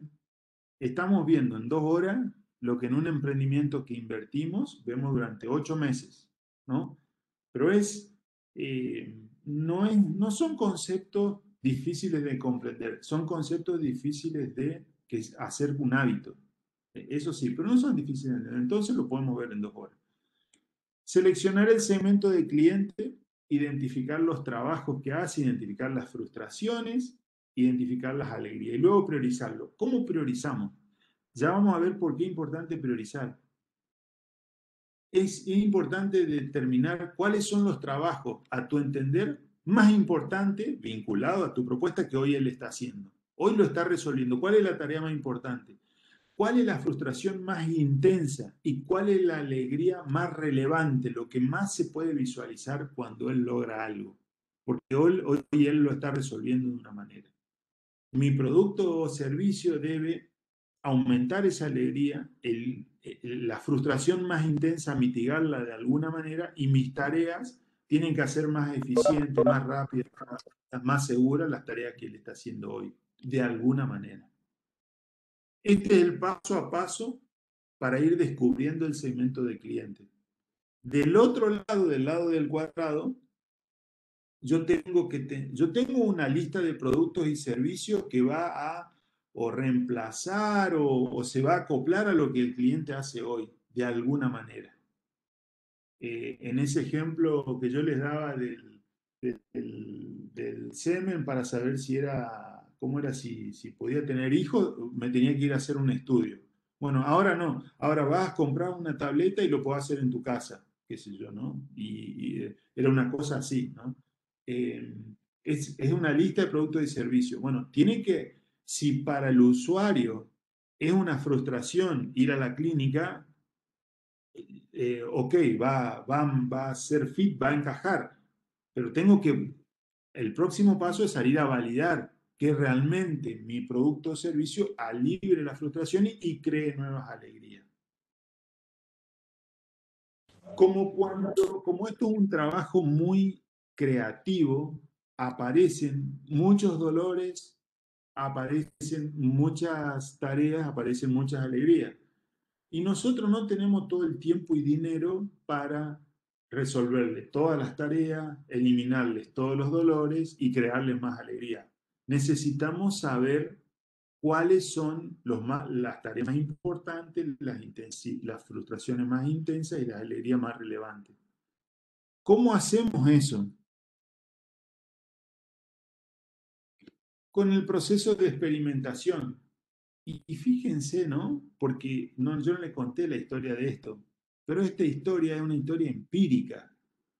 Pero miren a dónde termina termina en el proceso de generación de conocimiento.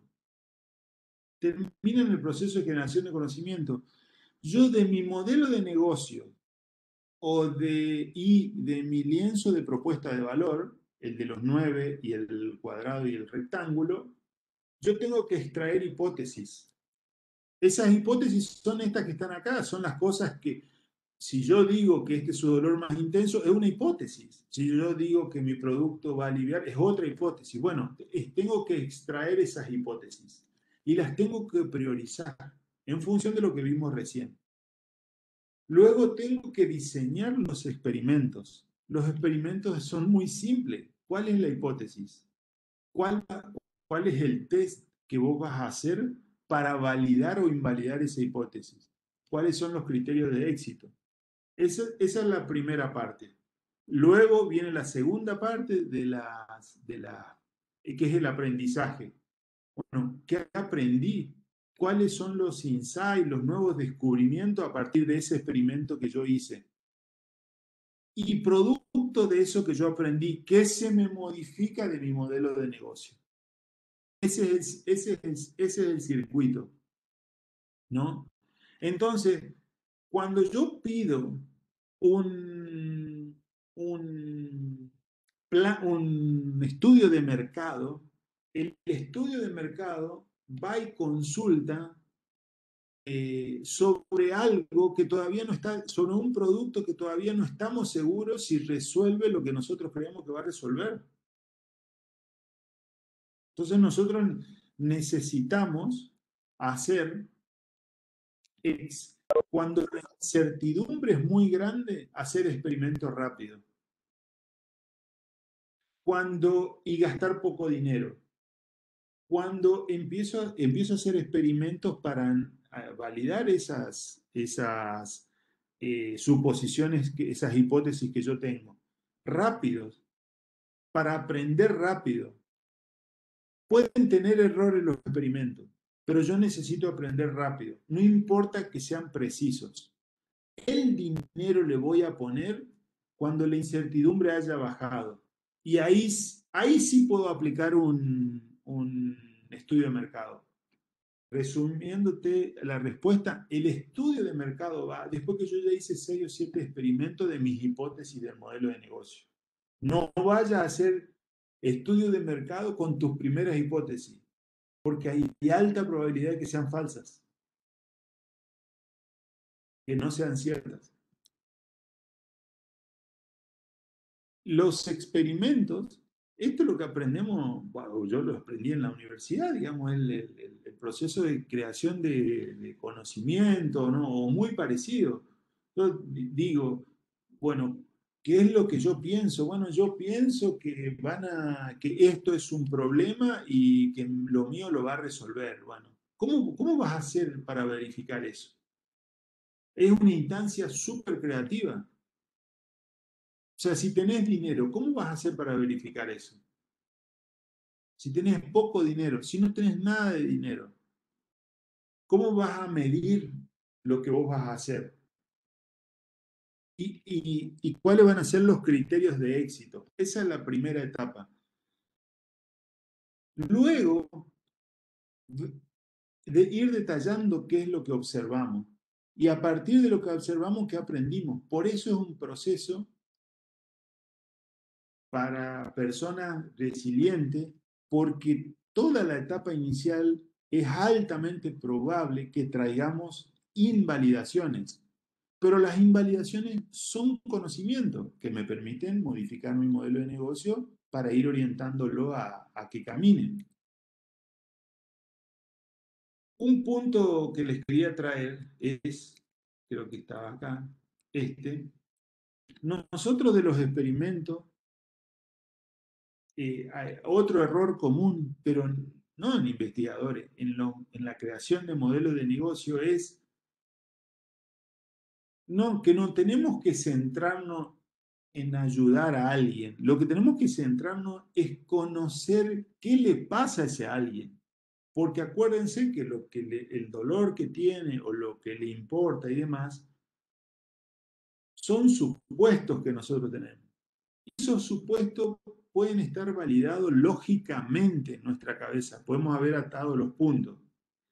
Escúchame, si la mayoría me dice que la mayoría me dice que, es un problema este tema de ir a, ir a ver si, si, si, si, el semen le permite reproducirse y demás, si es un problema eso. Todo el mundo cuenta eso. Bueno, no basta eso. Porque puede haber una variable que, eso es, puede ser cierto, pero puede haber una variable que le cause más dolor. O más, por ejemplo, el pudor de masturbarse para eso. No lo sé. No lo sé, pero puede, existe, hay una posibilidad. Entonces, en cualquier negocio que nosotros hagamos, tenemos que traer datos que muestren qué le importa al cliente, más que centrarnos en cómo le vamos a ayudar. No demos por sentado que lo que nosotros tenemos entre manos realmente resuelve un problema. Tenemos que hacer un esfuerzo por traer esa información. La propuesta de la metodología Lean Startup, Agile, Design Thinking, la de organizaciones exponenciales, es que eso se haga a través de experimentación.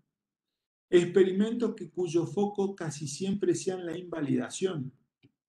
Ir ir Lo mismo que, el proceso, cuando yo defino cuál es la, la, hipótesis, digamos, ir, no ir a buscar pruebas, ¿no? sino ir a buscar instancias de que me invaliden. Y sobre todo, las hipótesis más críticas. En mi negocio, en el primero que habíamos visto, que era lo de la librería, yo digo que las editoriales me van a permitir usar los libros. Esa es una hipótesis. Bueno, a ver, diseñar el, algo que te permita ir a validarlo. A eso. ¿Y qué cosas, qué, qué tareas hay que podemos hacer para ir a validar? Antes de ir a ver a ese punto, como tres características de experimento. Cuando, cuando yo ya sé cómo termina el experimento, no lo haga, es un mal experimento. Cuando sea cual sea el resultado, no cambia nada lo que estoy haciendo, es un mal experimento. Cualquier otra cosa donde yo no conozca el resultado o donde el resultado sí me impacte, y especialmente donde la entrada y salida sea medible, es un buen experimento.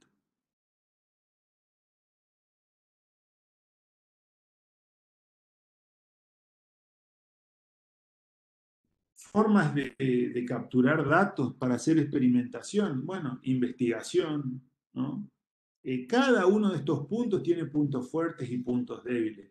Investigación, ir a preguntar, eh, analizar comportamientos de las personas alrededor del, del problema, co-crear en conjunto con el que tiene el problema, mostrarle a ver cómo lo diseñaría, Em, se llama científico porque, porque analiza las tendencias y las tendencias globales con los comportamientos de, eh, en donde quiere aplicar su idea, ¿no?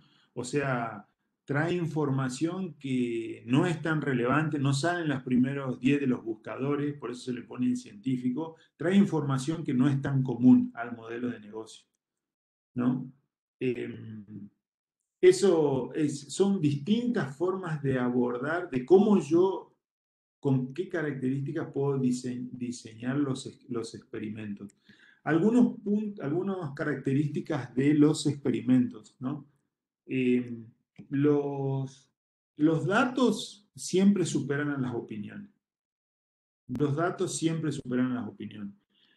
Hacer experimentos que me permitan aprender rápido, no importa que sean experimentos de, con alta fidelidad. Es preferible hacer pruebas más rápido y perfeccionarlas después.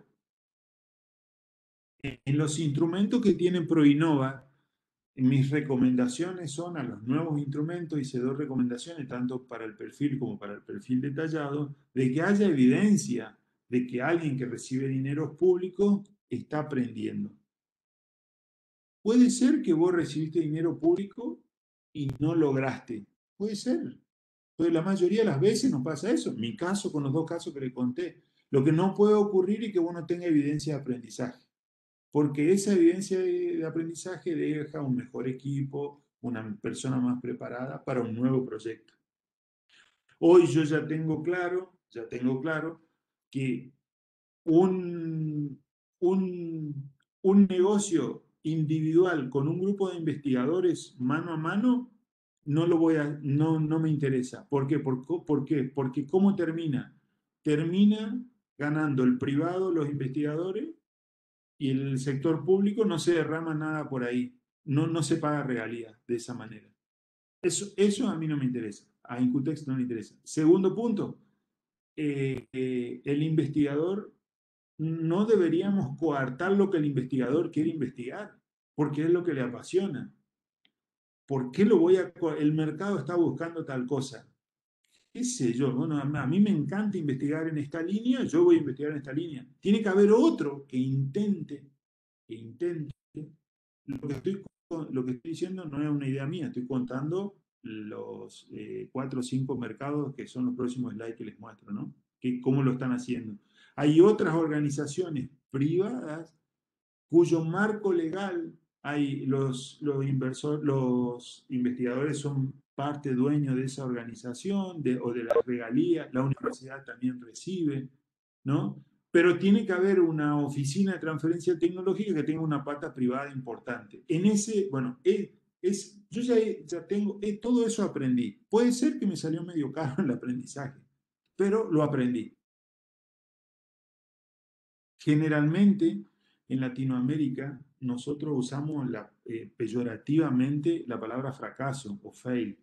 Eh, cuando nosotros hacemos con método esto, nunca hay fracaso. O hay iteración y crecimiento o hay aprendizaje, pero nunca hay fracaso.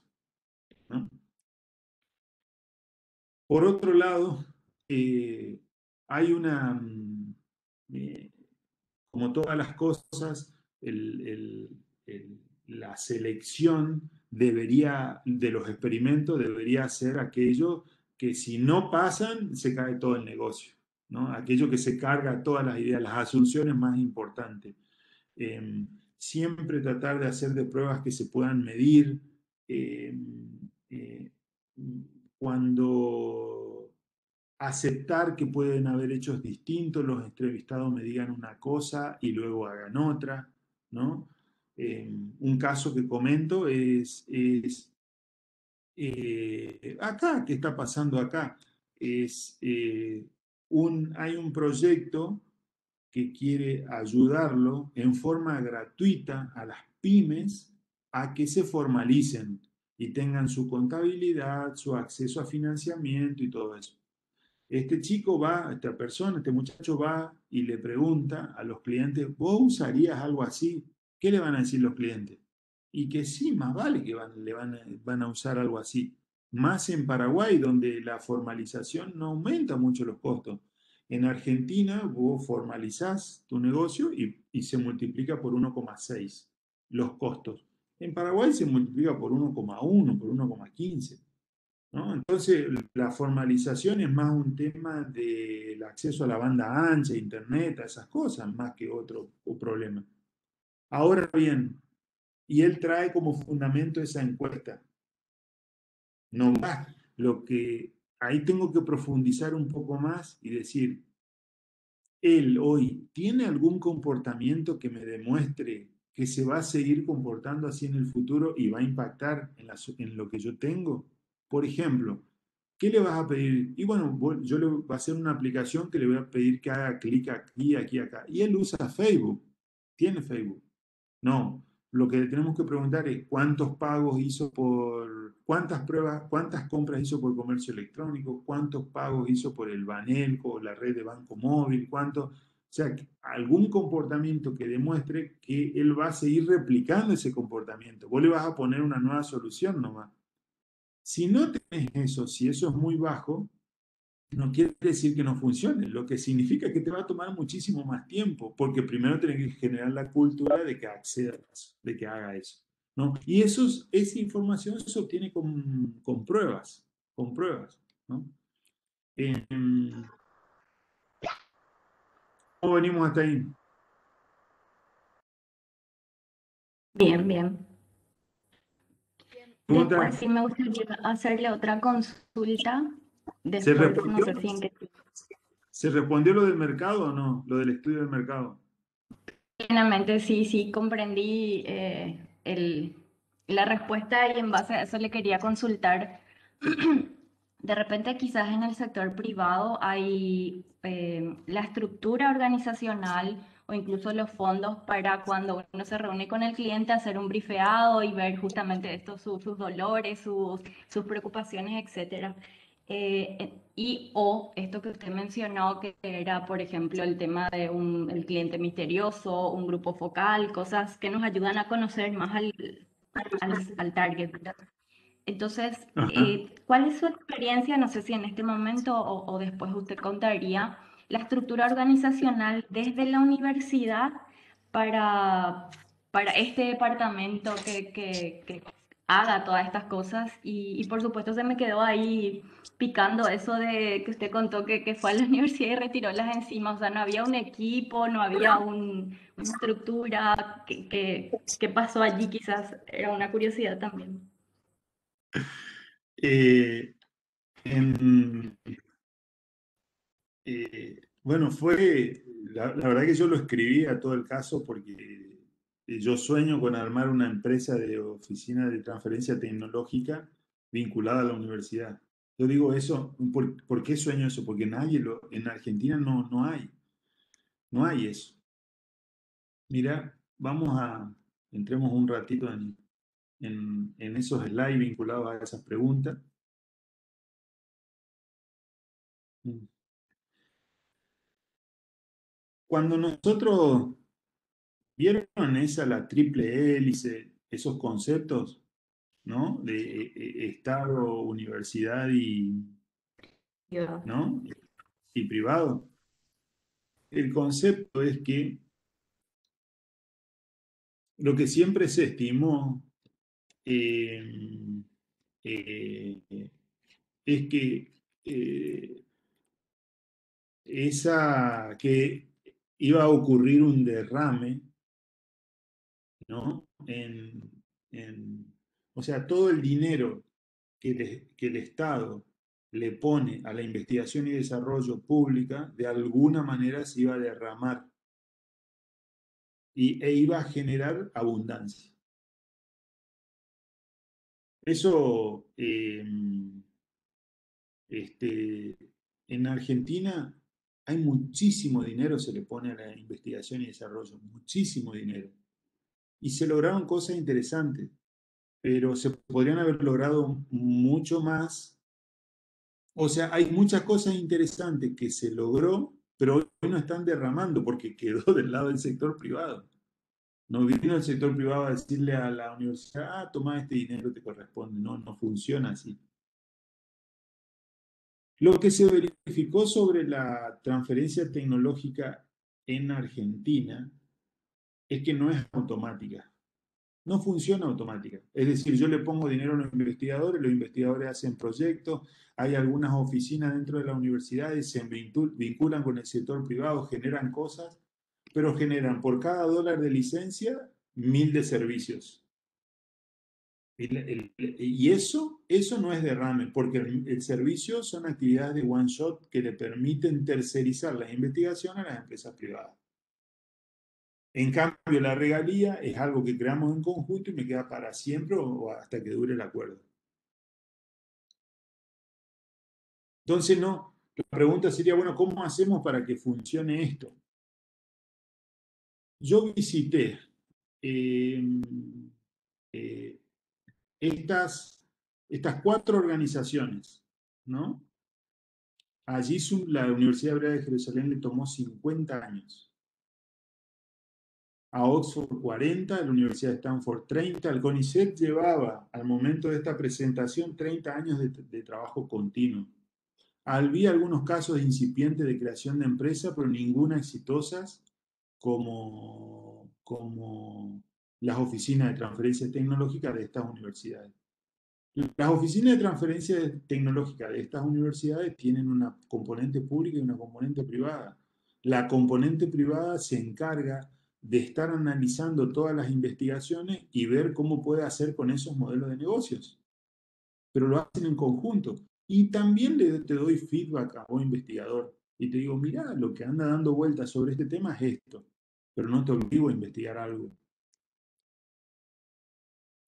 Por, por otro lado, eh, el, el, el investigador, por ejemplo, en el acuerdo que terminamos armando era 40% de la regalía iba para el investigador, 40% para la universidad y 20% para el sector privado del negocio que se generaba.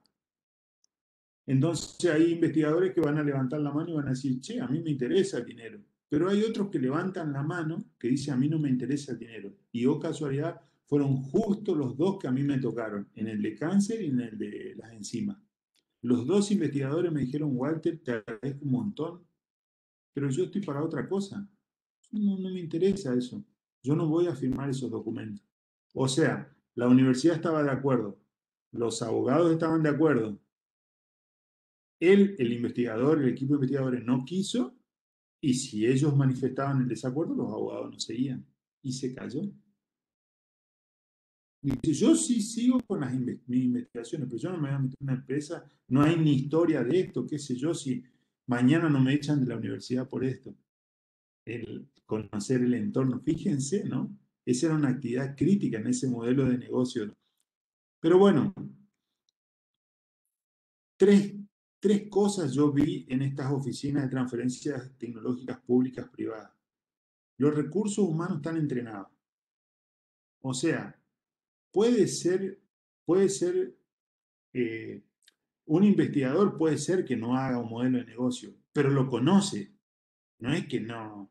O sea, yo no, eh, no sé nada, no sé qué es una enzima, pero sé que si le bajo, si la reutilizo, eh, cuando hacen la coca, la el costo le cae un 10%. Lo puedo, o sea, sin conocer tanto, puedo conocer del otro. Bueno, al investigador le pasa lo mismo. recursos humanos entrenados dentro de las oficinas de transferencia tecnológica. La oficina de transferencia tecnológica tiene que tener gente que domine el tema de modelo de negocios, de vigilancia tecnológica. No pueden ser administrativos, ¿no? Entonces, mi aprendizaje en Argentina con la gente que yo anduve es que se comportan como administrativos. Entonces, como se comportan como administrativos, no están, los, intereses no están alineados.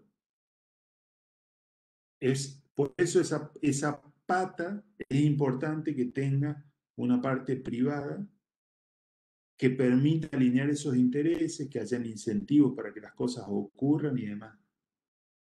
En mi experiencia, me preguntaron qué recomendar. En mi experiencia, eh, creo que mi caso es válido porque yo puse dinero para aprender esto. No es, o sea, eh, sale a partir de, situaciones concretas y de visitar otros lugares en donde la cosa anda mejor. Nuevas normativas. ¿Por qué? Porque si no hay una normativa que dice eh, que la universidad pueda hacer, se puede vincular con el privado, cómo va a ser el esquema de regalía, que el, en, Argentina, si el investigador era del CONICET, había un problema para que entre en una sociedad como esta. La universidad lo perdía el empleo. Imagínate. No, no, no, yo eso no, no, estoy bien, así, no, no, no, no. O sea, hay, hay que generar generar nuevos, eh, nuevas normativas, nuevos marcos regulatorios. Se generaron, ¿eh? logramos cambiar, está documentado esto que se pueden vincular, hay pequeños pasos que se van dando. ¿Qué es lo que no pudimos lograr? La oficina de transferencia que sea mitad y mitad. Y las, las, esos recursos humanos que están entrenados, que conocen todo esto, pueden atender el proceso de transferencia de punta a punta. ¿Por qué digo de punta a punta? No es recibir de un investigador, estoy investigando esto y ver cómo lo coloco en el mercado. Pues eso es una cosa, pero también es estar a la inversa, diciéndole qué cosas andan dando vuelta vinculadas a, su, a, lo que él está haciendo. Es ida y vuelta, ¿no? Es ida y vuelta. Em, el otro día me entero que se había creado una empresa acá en Córdoba de tres chicas y que estaban trabajando en la, en la transferencia tecnológica. Se fueron, entendieron esto y abrieron una empresa para hacer esto. Está muy bien, está muy bien. Pero a mi país no le sirve porque van a ganar dinero, van a ganar dinero ellos, ellas, van a ganar dinero los investigadores que se alineen con ella y las empresas y no va a volver un esquema de regalías al sector público para que siga apoyando estas cosas, ¿no? O sea, es como que le saltan, agarran un atajo para resolver el problema, pero no resuelven el problema de fondo. Entonces, mi, mi, si vos me decís a mí que para una oficina de transferencia, para facilitar este proceso, porque la pregunta tuya me decís, ¿quién va y se sienta con el cliente a hacer esto? O, o, quién pone los recursos para ir a hacer esto. Y lo tiene, que, lo tiene que poner la oficina de transferencia tecnológica. ¿Por qué? Porque ellos van a ganar plata si tienen éxito. Pero si eso no está escrito, hay que crear las normativas para que eso suceda. Eh, no lo que, a lo que voy es que mm, tomó mucho tiempo en las universidades que lo están haciendo bien. El tomate cherry, el tomate amarillo, el pimiento amarillo. Bueno, ustedes conocen un montón de todas esas cosas. Son creaciones de estas universidades, pero tomó mucho tiempo. No, no, ahora bien, les tomó mucho tiempo y cuando encontraron un esquema le empezó a dar más resultados. Y, o oh casualidad, es este esquema de oficina de transferencia público-privada. Cuando eh, este,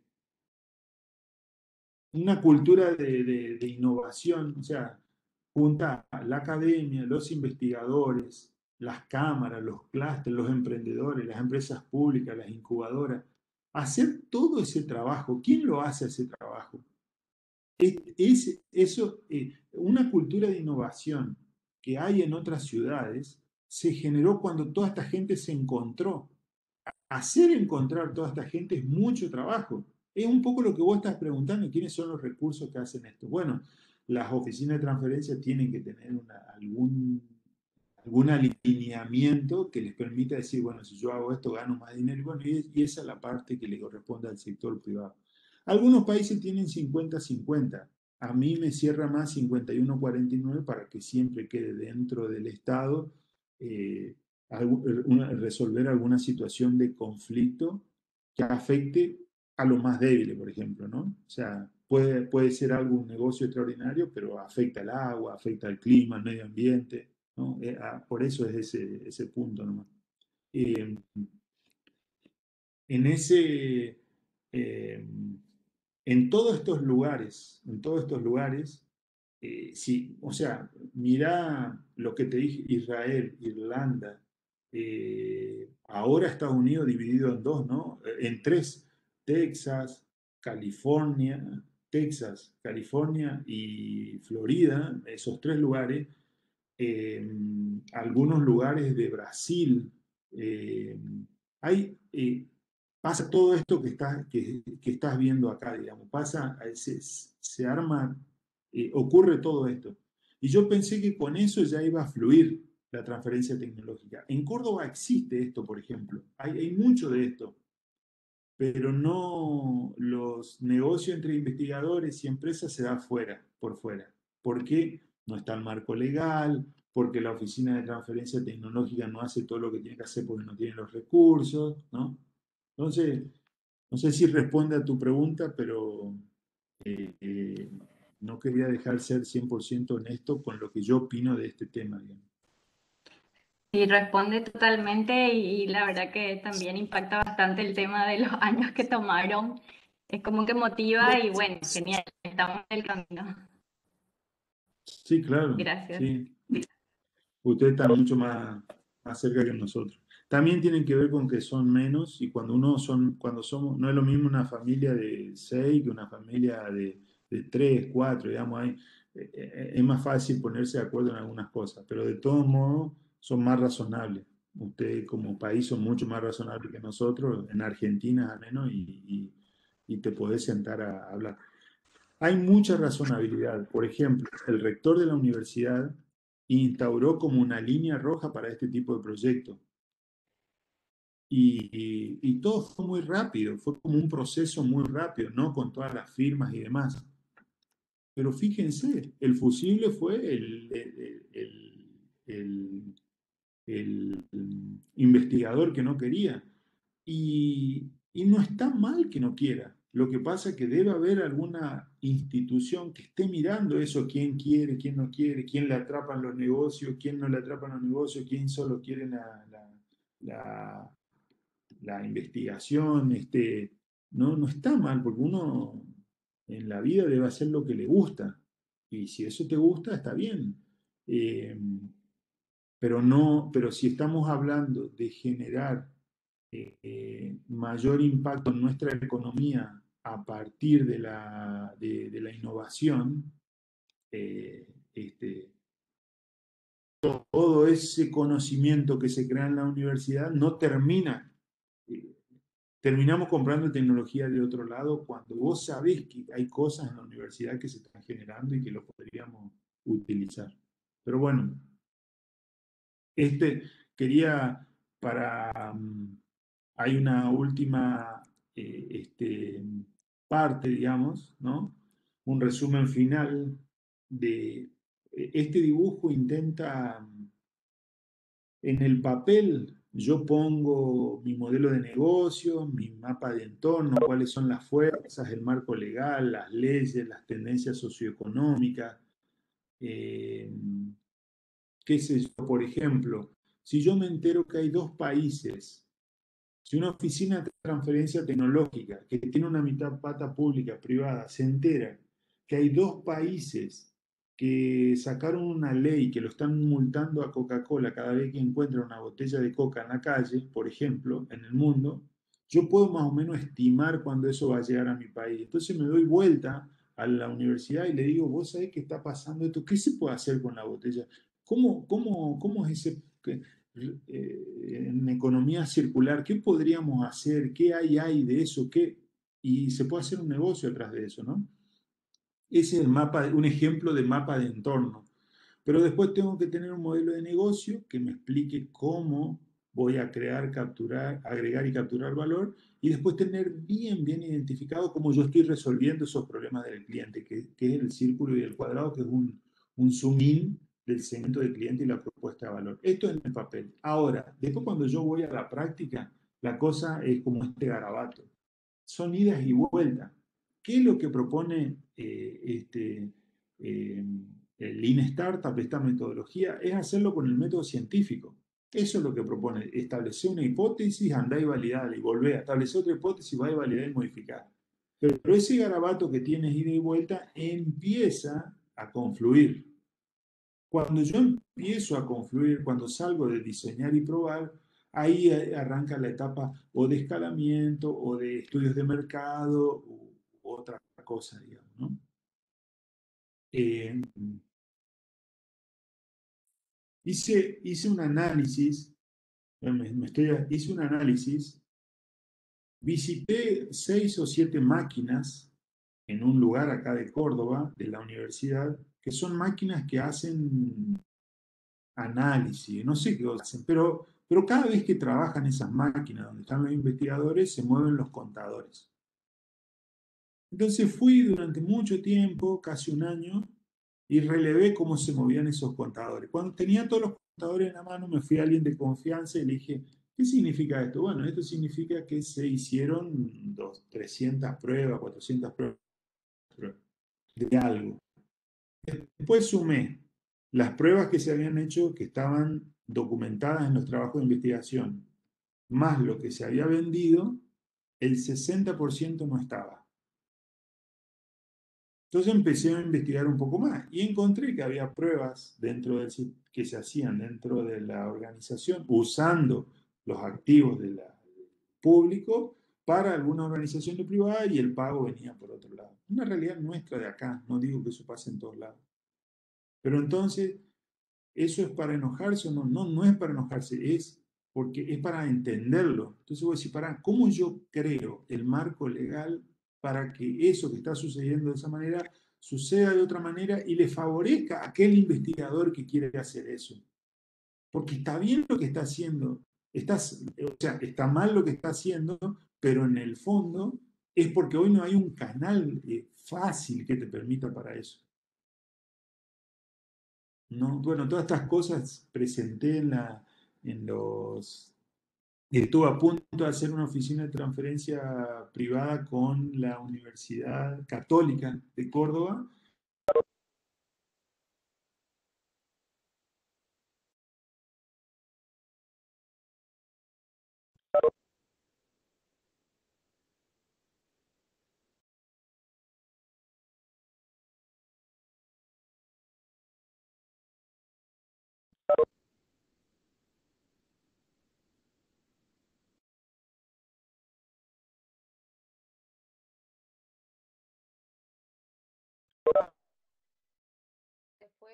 Se fue un poquito la señal ya enseguida.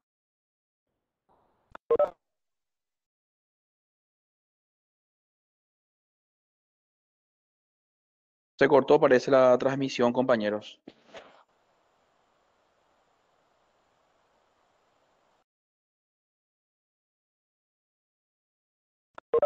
Sí, ahí vuelve Walter. Se me, Se me cayó mi internet, disculpen se me cayó mi, internet. Bueno, eh, le estaba comentando de, un intento también con la Universidad Nacional, pero eso, eso es de la Universidad Católica. Pero eso es, eh, eh, volviendo a, la pregunta, creo que es e, esas tres patas, el marco normativo, el marco legal, las capacidades de la gente que está dentro, que conozca todo el proceso de transferencia completo, y que eso esté alineado a algo privado, a mí me parece que es una forma de abordar esta, esta, esta problemática que tenemos hoy en, en Latinoamérica, digamos.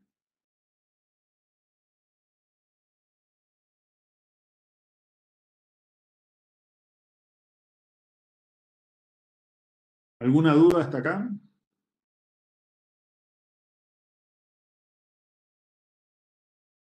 ¿Me escuchan? Eh, Walter, sí, Walter, ¿me escuchas?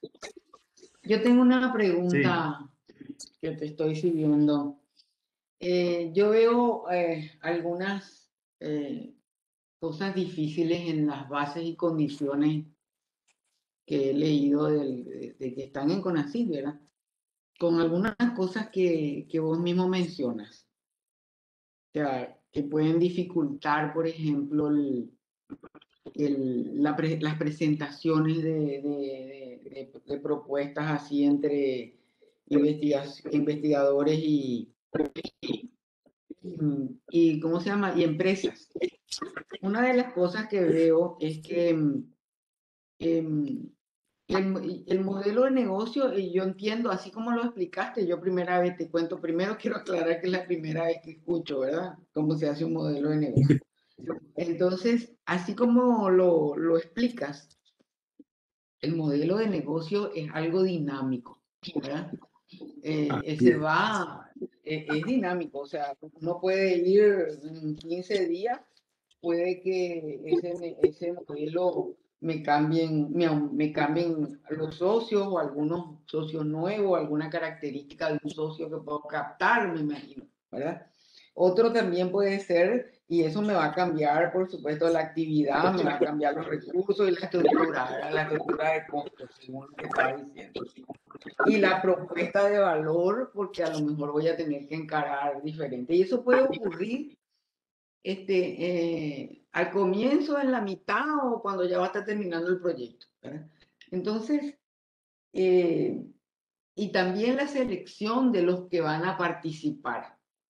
Eh, puede ser que yo haga un llamado, en el llamado, por ejemplo, se presente en una empresa y, y dos centros de investigación, la universidad, pero después por el camino me doy cuenta de que tengo que meter a alguien clave, por ejemplo, para, qué sé yo, no sé qué podría ser, alguna envasadora, que se me olvidó ponerla al principio. Y eso, por ejemplo, no, no lo refleja, las no, lo, no está reflejado en las bases y condiciones. O sea, que yo creo que tiene que haber algo de flexibilidad en alguna parte, porque uno puede ir a medida, eh, entiendo, ¿verdad? Que en este business model eh, es dinámico y de repente puede ser que uno tenga que captar a alguien que pueda ayudar y en algo que surgió que no, no se previó, o sea, ese tipo de cosas. ¿Cómo se hace eh, con estos, estas bases y condiciones que están estipuladas que yo no le veo esa flexibilidad a, a esas bases y condiciones de, de los llamados acá con ProInnova para hacer un modelo así. Eh, seguro Lisa te va a responder con más detalles, pero yo sí creo que tiene la flexibilidad. Yo creo que vos podés plasmar todo lo que dijiste. O sea, vos tenés claro tu modelo de negocio hoy y también estás visualizando que algunas cosas pueden cambiar y eso lo plasmás. Eso no, no, no, hoy no, no, no, no hay. Lo que no puede, lo que sí o sí debe haber una claridad del inicio. Tiene que haber una claridad de qué es lo que vos estás vislumbrando, de, de- cómo vas a hacer un modelo de negocio, tu, tu investigación, tu producto, tu servicio. Eso tiene que haber una claridad. Pero vos, hay, hay varios campos del, no solo del perfil inicial, sino del detallado, que a vos te permiten explayarte sobre eso.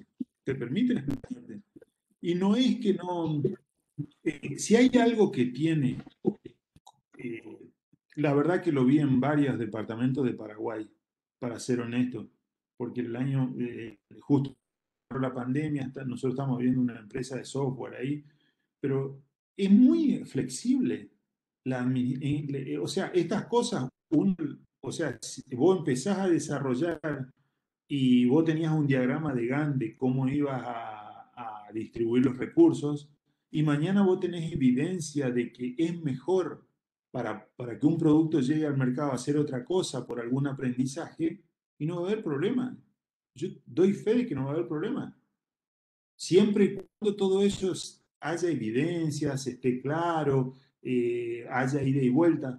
Por eso yo estoy proponiendo a CONACYT que los proyectos tengan, se basen en tecnologías sociales, en donde CONACYT puede estar, puede estar mirando en qué se está trabajando. Una tecnología social es Trello, Teams, Slack, eh, eh, Cisco también tiene algo. Hay un montón de tecnologías sociales, este, pero que permita tener, eh, conocer esa razonabilidad. Yo no lo veo que no se pueda, no sé, o, entendí mal la pregunta o no. No, yo me refería, voy, a, voy a aclarar un poco, no es tanto a la parte técnica, ¿verdad? No puede sugerir. Yo decía, yo me refiero al sistema administrativo. Eh, para hacer cambios en, los procesos administrativos de CONACYT es bastante complicado, no es fácil. Eh, y a eso es lo que yo me refería, porque yo vengo, bueno, yo conozco cómo se administran los proyectos y si uno quiere cambiar alguna cosa, tiene que pensarlo dos veces, ¿verdad? Porque es es un proceso que no es fácil, o sea, no es rápido, digamos. Entonces, eh, yo creo que hay un freno eh, en lo que es la parte administrativa, más que técnica. En el técnico es más, más práctico porque uno puede, pienso que se puede hacer, uno puede justificar, este, yo no lo puedo, cumplir o, apareció un, sector clave que quiero abordar y necesito transferir fondos de aquí para allá y eso puedo plantearlo. Ahora, que lo pueda llegar a hacer administrativamente. Entonces yo creo que eso también habría que ver en las bases y condiciones del componente administrativo, porque eh, a veces uno puede tener proyectos muy del siglo XXI pero la administración pública acá en Paraguay, yo me, imagino que también en Argentina es bastante eh, burocrática, ¿verdad? Entonces, eso puede frenar, eso es lo que te quiero decir, eso puede llegar a frenar un, modelo de, de, negocio dinámico como, como estos que, que estoy viendo acá, que son formidables, ¿verdad? Son excelentes. Entonces me, me, quedé así como pensando si administrativamente eso podría lograrse. Y se podría revisar los procesos administrativos para ver un poco cómo, cómo flexibilizar también eso, ¿verdad? A eso me refería. Sí, yo eh, honestamente no, no te sigo la pregunta, pero creo que José y Lisa eh, pueden hacer match de, de, de, qué, de qué parte estás hablando, digamos. Estoy medio perdido. Gracias, gracias por lo que menciona, doctora Roja. Eh, ¿Puedes hablar un poquito más fuerte, Lisa? Se te escucha muy bajo. ¿Cómo no? ¿Me escuchan ahí? ¿Se escucha mejor? Muy bajo todavía, si puedes hablar un poquito fuerte. Habla más fuerte, a ver si por ahí. De acuerdo, voy a hablar más fuerte. Bien, el comentario que puedo hacer en este punto es, eh, por un lado, sí está previsto realizar cambios administrativos y financieros, inclusive en proyectos que hayan sido adjudicados. Existe un proceso que se llama eh, reprogramación financiera y sí se puede hacer. Lo que menciona Walter es exactamente así. Simplemente hay que justificar los cambios que se realizan y que estos sean pertinentes a los objetivos que uno se planteó desde un principio. ¿Cuál es el objetivo de, de, ser, eh, de, de mantener, digamos, cierto rigor? Es justamente para que las organizaciones que postulan, ya sean del sector público o privado, tengan ese aprendizaje de, de plantearse un horizonte y si bien existen aprendizajes en el camino, que tenga coherencia también esos ajustes. ¿sí? Eso por un lado. Y por otro lado, recordemos que el CONACIT, además de administrar fondos públicos, recibe apoyo de cooperaciones internacionales que tienen también sus propias exigencias. Eso nada más quería decir eh, a favor, digamos, de, de, del rigor y de los protocolos que a veces eh, tenemos que respetar, pero sí existe la posibilidad no solamente de incluir eh, actores nuevos en una propuesta de, de innovación, porque uno puede ir visualizando oportunidades que en el principio no vio. Ciertamente eso se puede hacer. Inclusive se puede cambiar miembros del equipo, etcétera, manteniendo el perfil que eh, requiere ese, ese proyecto. Gracias, Lisa, muy amable. Gracias.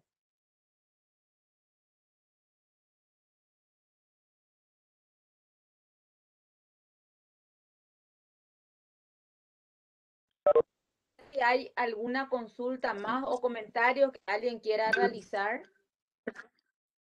Ah, me estaba olvidando del link. Un segundito. Eh, la presentación, eh, ustedes la tienen, eh, Lisa, y le pueden hacer llegar, ¿verdad?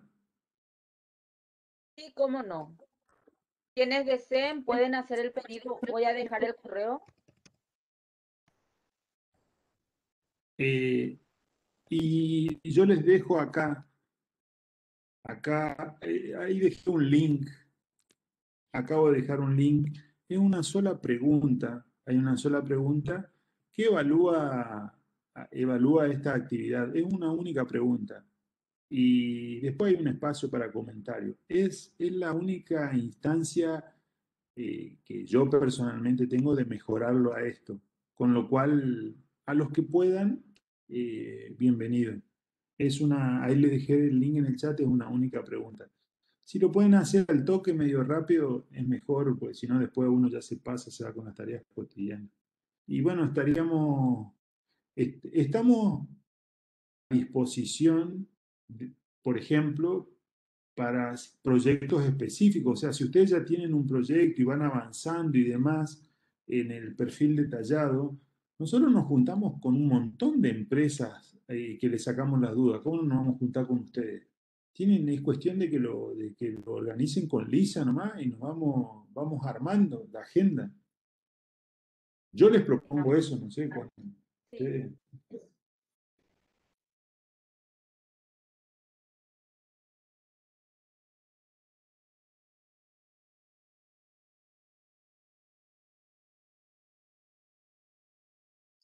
Bueno.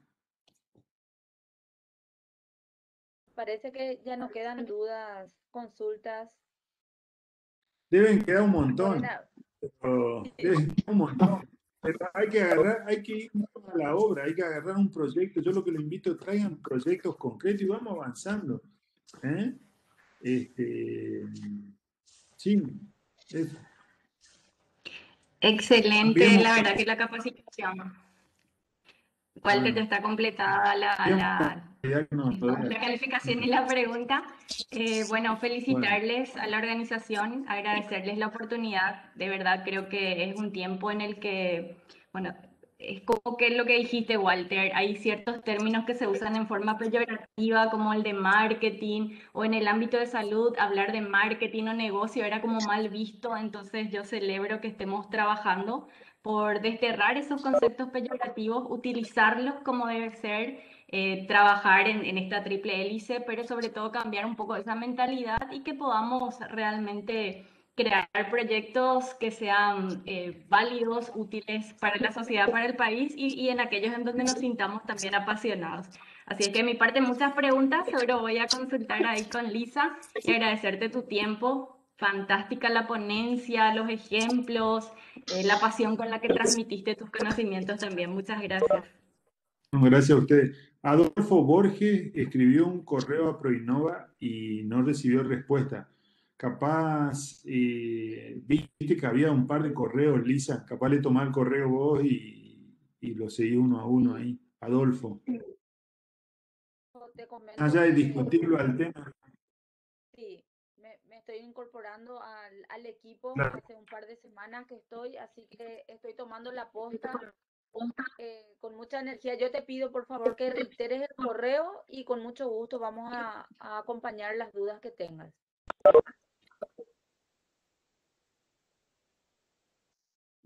Muchas gracias también. Eh, me quiero despedir yo también. Eh, agradecerte de esta exposición muy, no sé, yo aprendí mucho también.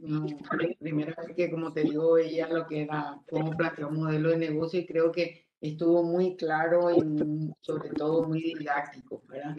Para quienes no tienen un conocimiento acabado de estos tipos de cosas.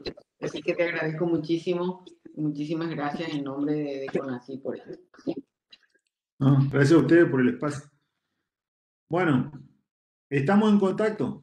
Gracias a Sí. todos. Muchas gracias, Walter. Gracias por todo y en nombre del consejo y esperemos, como tú has dicho, esto se aprende haciendo y esperemos que Muchísimas gracias. surjan más proyectos. Gracias. Adiós. Excelente. Gracias Adiós. también a usted, doctor Galván, por acompañar esto. Gracias, Walter. Gracias a todos.